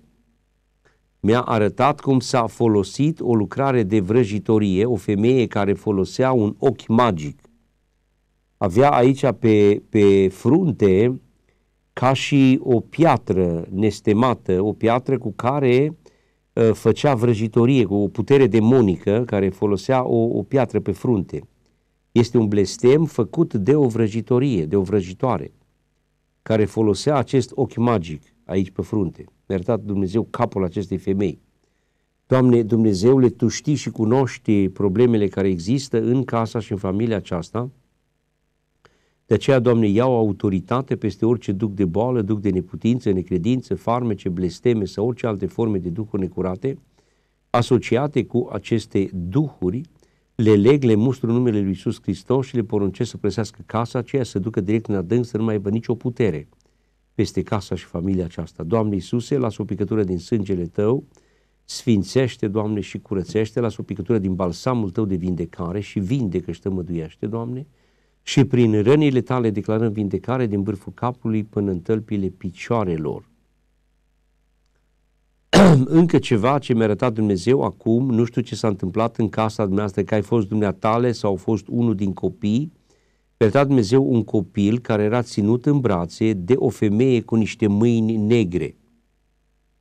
Uh, copilul acesta, că era băiat sau fată, nu știu, dar era sub prezența și puterea acestor mâini negre care, care au, au afectat copilul acesta încă din, din, din tânără pruncie nu știu, este un copil de al dumneatale, ai fost dumneatale, ținută în, în, în mâinile acestei femei care erau niște mâini negre, demonice. Doamne, Dumnezeule, nimicește aceste planuri vrăjmașe, nimicește aceste lucruri, Doamne, care au venit în casa acestei femei și dă, Doamne, izbăvire, eliberare, sfințire și curățire. O încredințăm mâna și în brațul Tău și Tu să-ți faci, Doamne, numele de slavă. Și eu îți mulțumesc, Tată, în numele Domnului nostru Isus Hristos și prin Duhul Sfânt. Aleluia. Amin. Vă recomand să uh, veniți până la Alba Iulia, că nu-i departe, să încercăm să intrăm puțin în adâncul problemei și să putem să facem slujba de eliberare.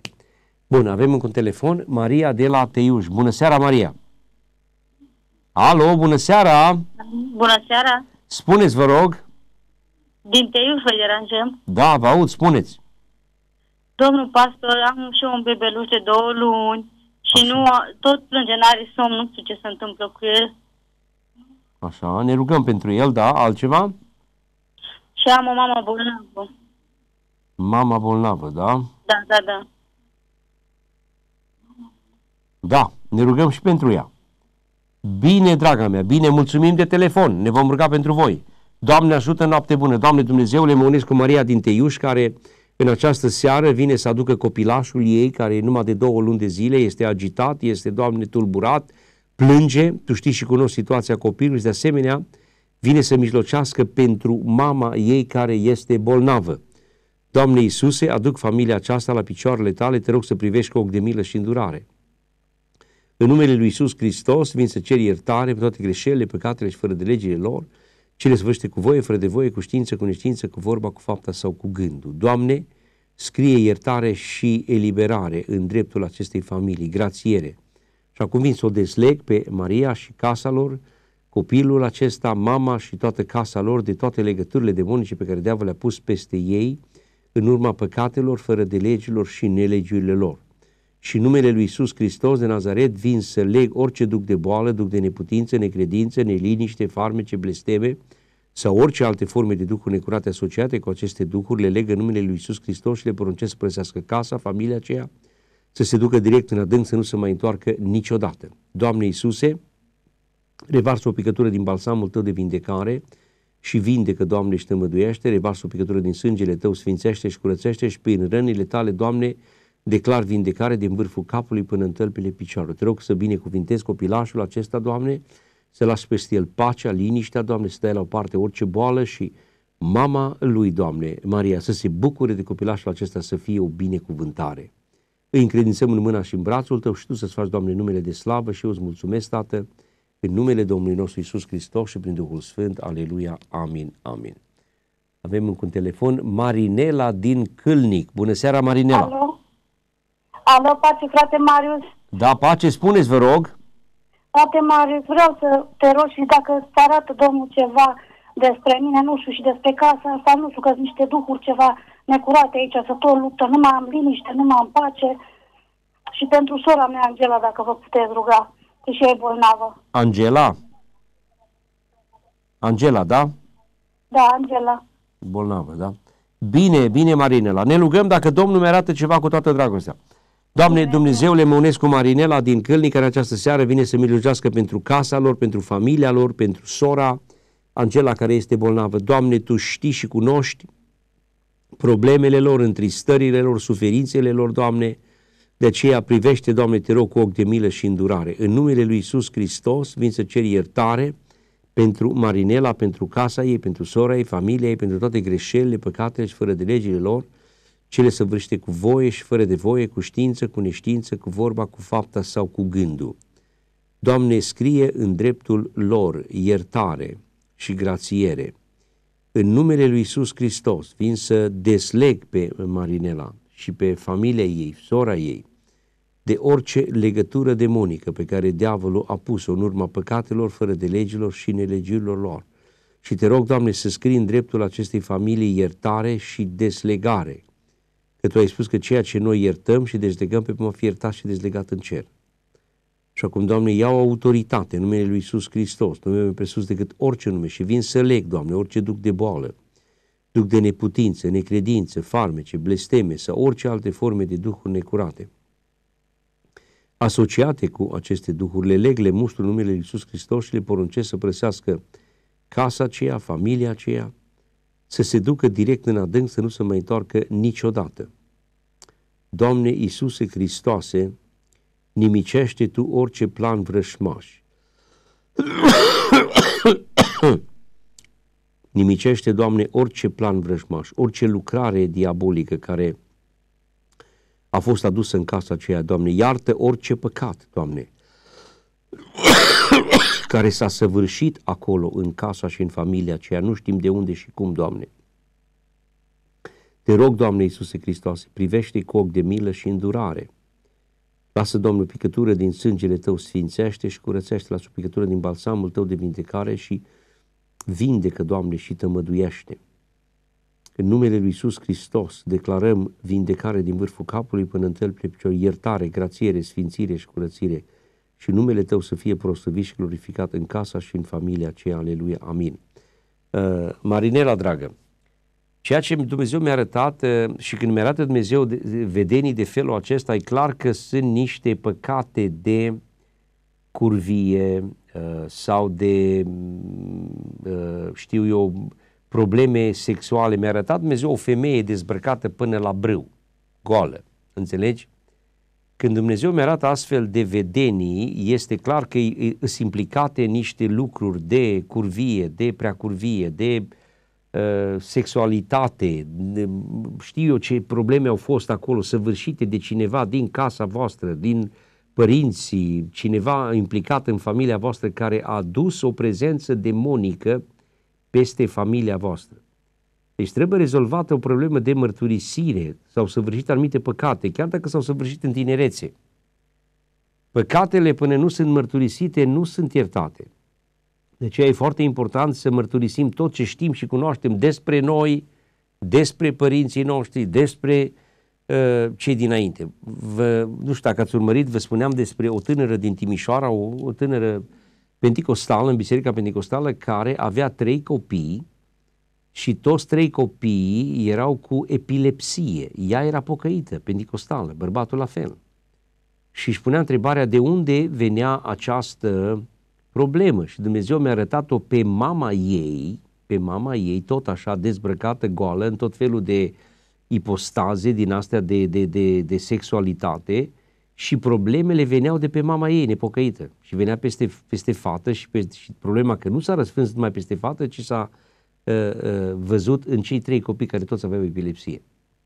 Deci trebuie să cercetăm bine trecutul nostru, ce vine, de unde venim, cine au fost părinții noștri, cine au fost bunicii noștri, ce lucruri s-au petrecut în casa noastră care au îngăduit că noi zicem, de ce, Doamne? Păi hai să vedem de unde vin. Dumnezeu îngăduie până la a treia, a șaptea generație și chiar mai mult. Înțelegeți? De aceea e bine să cercetăm lucrurile. Bun. Mai uh, preluăm în, încă un telefon și apoi uh, o să uh, facem rugăciunea generală. Avem un telefon. Uh, Marin din Sebeș. Bună seara, Marin! Da, bună seara, frate. Spuneți, vă rog. Sunt un pic cam bolnav și nu mă mai înțeleg cu familia. Aha. Și vreau și o rugăciune de iertare, dacă se poate. Sigur că da. Pentru familie, pentru mine. Am înțeles. Păi trebuie să căutați să comunicați, să vă mărturisiți unii altora păcatele, să vă cereți iertare, să vă uniți. Dragostea e ceea ce unește. Nu ura, nici răutatea, nici ambițiile personale, ci trebuie dragoste. Dar ne rugăm ca Domnul să rânduiască, să se poată aduce pacea Să rânduiască, Domnul. și unitatea în familie. Bine, frate Marin, bine, mulțumim de telefon, multă pace. Bine, bine. Doamne Dumnezeu, le munesc cu fratele Marin din Sebeș că această seară vine să milijească pentru casa, familia lui, pentru pacea, pentru unitate, pentru dragoste, pentru binecuvântare. Doamne, Tu știi și cunoști problemele lor, necazurile, întristările. Doamne, în vremea aceasta, diavolul intră, Doamne, în familii, caută să strice unitatea, pacea, să aducă divorțul, să aducă, Doamne, despărțiri și alte probleme. Te rog, Tată Ceresc, în numele Lui Iisus Hristos, privește cu ochi de milă și îndurare. Cer iertare pentru Marin și toată casa lui, pentru toate greșelile, păcatele și fără de legilor, ce să văște cu voie și fără de voie, cu știință, cu neștiință, cu vorba, cu fapta sau cu gândul. Scrie, Doamne, iertare și grațiere în dreptul acestui frate și familiei lui. Și vin, Doamne, să îl dezleg pe Marin și toată casa lui de orice legătură demonică pe care diavolul a pus în urma păcatelor, în urma fără de legilor, nelegiri, neiertările lor, Doamne, nimicește planul vrăjmaș și scrie în dreptul acestei familii deslegare. Și acum, Doamne, iau autoritate în numele Lui Iisus Hristos și vin să leg orice duc de boală, duc de neputință, necredință, neiertare, farmece, blesteme sau orice alte forme de duhuri necurate asociate cu aceste duhuri, le leg, le mustru în numele Lui Iisus Hristos și le poruncesc să părăsească casa aceea, familia aceea, să ducă direct în adânc să nu se mai întoarcă niciodată. Lasă, Doamne, o picătură din balsamul Tău de vindecare, o picătură din sângele Tău, sfințește, curățește. Adu, Doamne, pacea, A Tu, Doamne, unitatea și prin rănile Tale, Doamne, declarăm vindecare din vârful capului până în tălpile picioarelor. Proslăvește-ți numele și eu îți mulțumesc, Tată, în numele Domnului nostru Isus Hristos și prin Duhul Sfânt. Aleluia. Amin. Amin. Ne oprim aici cu telefoanele, mai avem doar 5 minute. Doamne Dumnezeule, vin în această seară să mă unesc cu toți cei care urmăresc această emisiune în lungul și latul pământului. Dacă sunt, Doamne, suflete care doresc în această seară să se unească cu mine, vă rog să îngenuncheați acolo în fața televizorului, întindeți mâinile spre televizor, ne unim, cuvântul Domnului spune, dacă doi dintre voi să unesc să ceară un lucru oarecare, li va fi dat de Tatăl meu care este în ceruri. Și acolo unde sunt doi sau trei, sunt și eu în mijlocul lor. Deci ne unim prin credință, nu neapărat că este o putere în mâinile mele, ci este un act al credinței, al unității. Încă o dată, Doamne, vin să mă unesc cu toți cei ce cred în această lucrare, toți cei ce au îngenunchiat și toți cei ce au nevoie de atingerea Ta în această seară, Doamne. Revarsă-ți puterea Duhului Tău cel Sfânt, Doamne, și atinge pe toți cei ce văd și ascultă această emisiune, cred în această lucrare, Doamne, și numele Tău să fie proslăvit. În numele Lui Iisus Hristos din Nazaret, vin să cer iertare pentru toți cei ce văd, ascultă această emisiune și s-au unit cu mine în această seară, cer iertare pentru toate greșelile, păcate și fără de legile lor, cele săvârșite cu voie, fără de voie, cu știință, cu neștiință, cu vorba, cu fapta sau cu gândul. Aruncă-le, Doamne, în marea uitării și scrie, Doamne, în dreptul celor ce văd și ascultă această emisiune, iertare și grațiere. În numele Lui Iisus Hristos vin să dezleg pe toți cei ce văd și ascultă de orice legătură demonică pe care diavolul a pus-o peste viața familiilor în urma păcatelor, fără de legilor și nelegiurile lor. Scrie, Doamne, în dreptul lor deslegare și iertare. Și acum, Doamne, iau autoritate în numele Lui Iisus Hristos, nume mai presus decât orice nume și vin să leg orice duc de boală, duc de neputință, necredință, farmece, blesteme, ducuri de curvie, lăcomie, mândrie, făsărnicie și orice alte forme de ducuri necurate, asociate cu aceste ducuri, le leg în numele Lui Iisus Hristos și le poruncesc să părăsească casa lor, familia lor, uh, situația lor să se ducă direct în adânc, să nu se mai întoarcă niciodată. Doamne, revarsă o picătură din sângele Tău și sfințește și curățește, Doamne. Revarsă o picătură din balsamul Tău de vindecare și vindecă și tămăduiește, Doamne. Doamne Iisuse Hristoase, în numele Tău și prin rănile Tale declarăm vindecare. Cei ce aveți o boală în trup, puneți mâna acolo unde vă doare, dacă puteți atinge zona respectivă. Doamne Dumnezeule, fă ca puterea Duhului Tău cel Sfânt, puterea de vindecare, să curgă, Doamne, prin trupurile lor Acolo unde s-a atins trupul, Doamne, te rog, fă, Doamne, o vindecare totală. Fă Tu, Doamne, o operație, Tu ești medicul suprem, atinge-te, Doamne, de cancer, în numele Lui Iisus Hristos, mustru orice formă de, de duhuri de cancer. Și le poruncesc în numele Lui Iisus Hristos să părăsească trupurile celor ce sunt afectați de această boală. Doamne Iisuse, refă Tu, Doamne, vindecă complet, Doamne, chiar acolo unde este metastază și acolo unde, Doamne, doctorii au spus că nu se mai poate proslăvește-ți, Doamne, numele și vindecă în această seară. Să se știe, să se cunoască că Tu ești adevăratul Dumnezeu și eu sunt slujitorul Tău. Doamne, împacă soț, soției care sunt, Doamne, certați, Doamne, aduc copiii răzvrătiți acasă, proslăvește-ți numele în bisericile fraților, în strângerile de casă, de rugăciune, în familii, Doamne. Nimicește lucrările diavolului, că este scris că Tu te-ai arătat, Doamne, să nimicești orice lucrare diavolească încredințez toate aceste lucruri în mâna și în brațul tău și cred că tu și numai tu, Doamne, ești cel ce poți să faci nespus mai mult decât înțelegem sau pricepem noi. De aceea îți mulțumim, Tată, în numele Domnului nostru Isus Hristos și prin Duhul Sfânt. Aleluia. Amin. Amin. Stimați spectatori, ne apropiem de încheiere. Dacă, din păcate, n-ați reușit să intrați în direct cu mine, îmi pare rău, vă aștept în Biserica Maranata, în special serviciile de joi, este timp mai mult, vin mai puțini, luați-vă inima în dinți, veniți, vă promit că nu plecați la fel cum ați venit. Sunt convins că Dumnezeu va, va rezolva multe din problemele voastre, nu spun că toate, depinde de starea voastră, de felul cum credeți, dar știu că Dumnezeul meu, Dumnezeul cel viu și adevărat al cărui slujitor sunt, poate. M-am rugat pentru mii de suflete și mă rog și pentru voi, da? Dumnezeu să vă binecuvinteze pe toți, vă doresc o săptămână binecuvântată cu Domnul Isus Hristos, nu uităm tot ce are suflare, să laude pe Domnul, lăudați pe Domnul, la revedere, noapte bună, Doamne ajută pe săptămâna viitoare.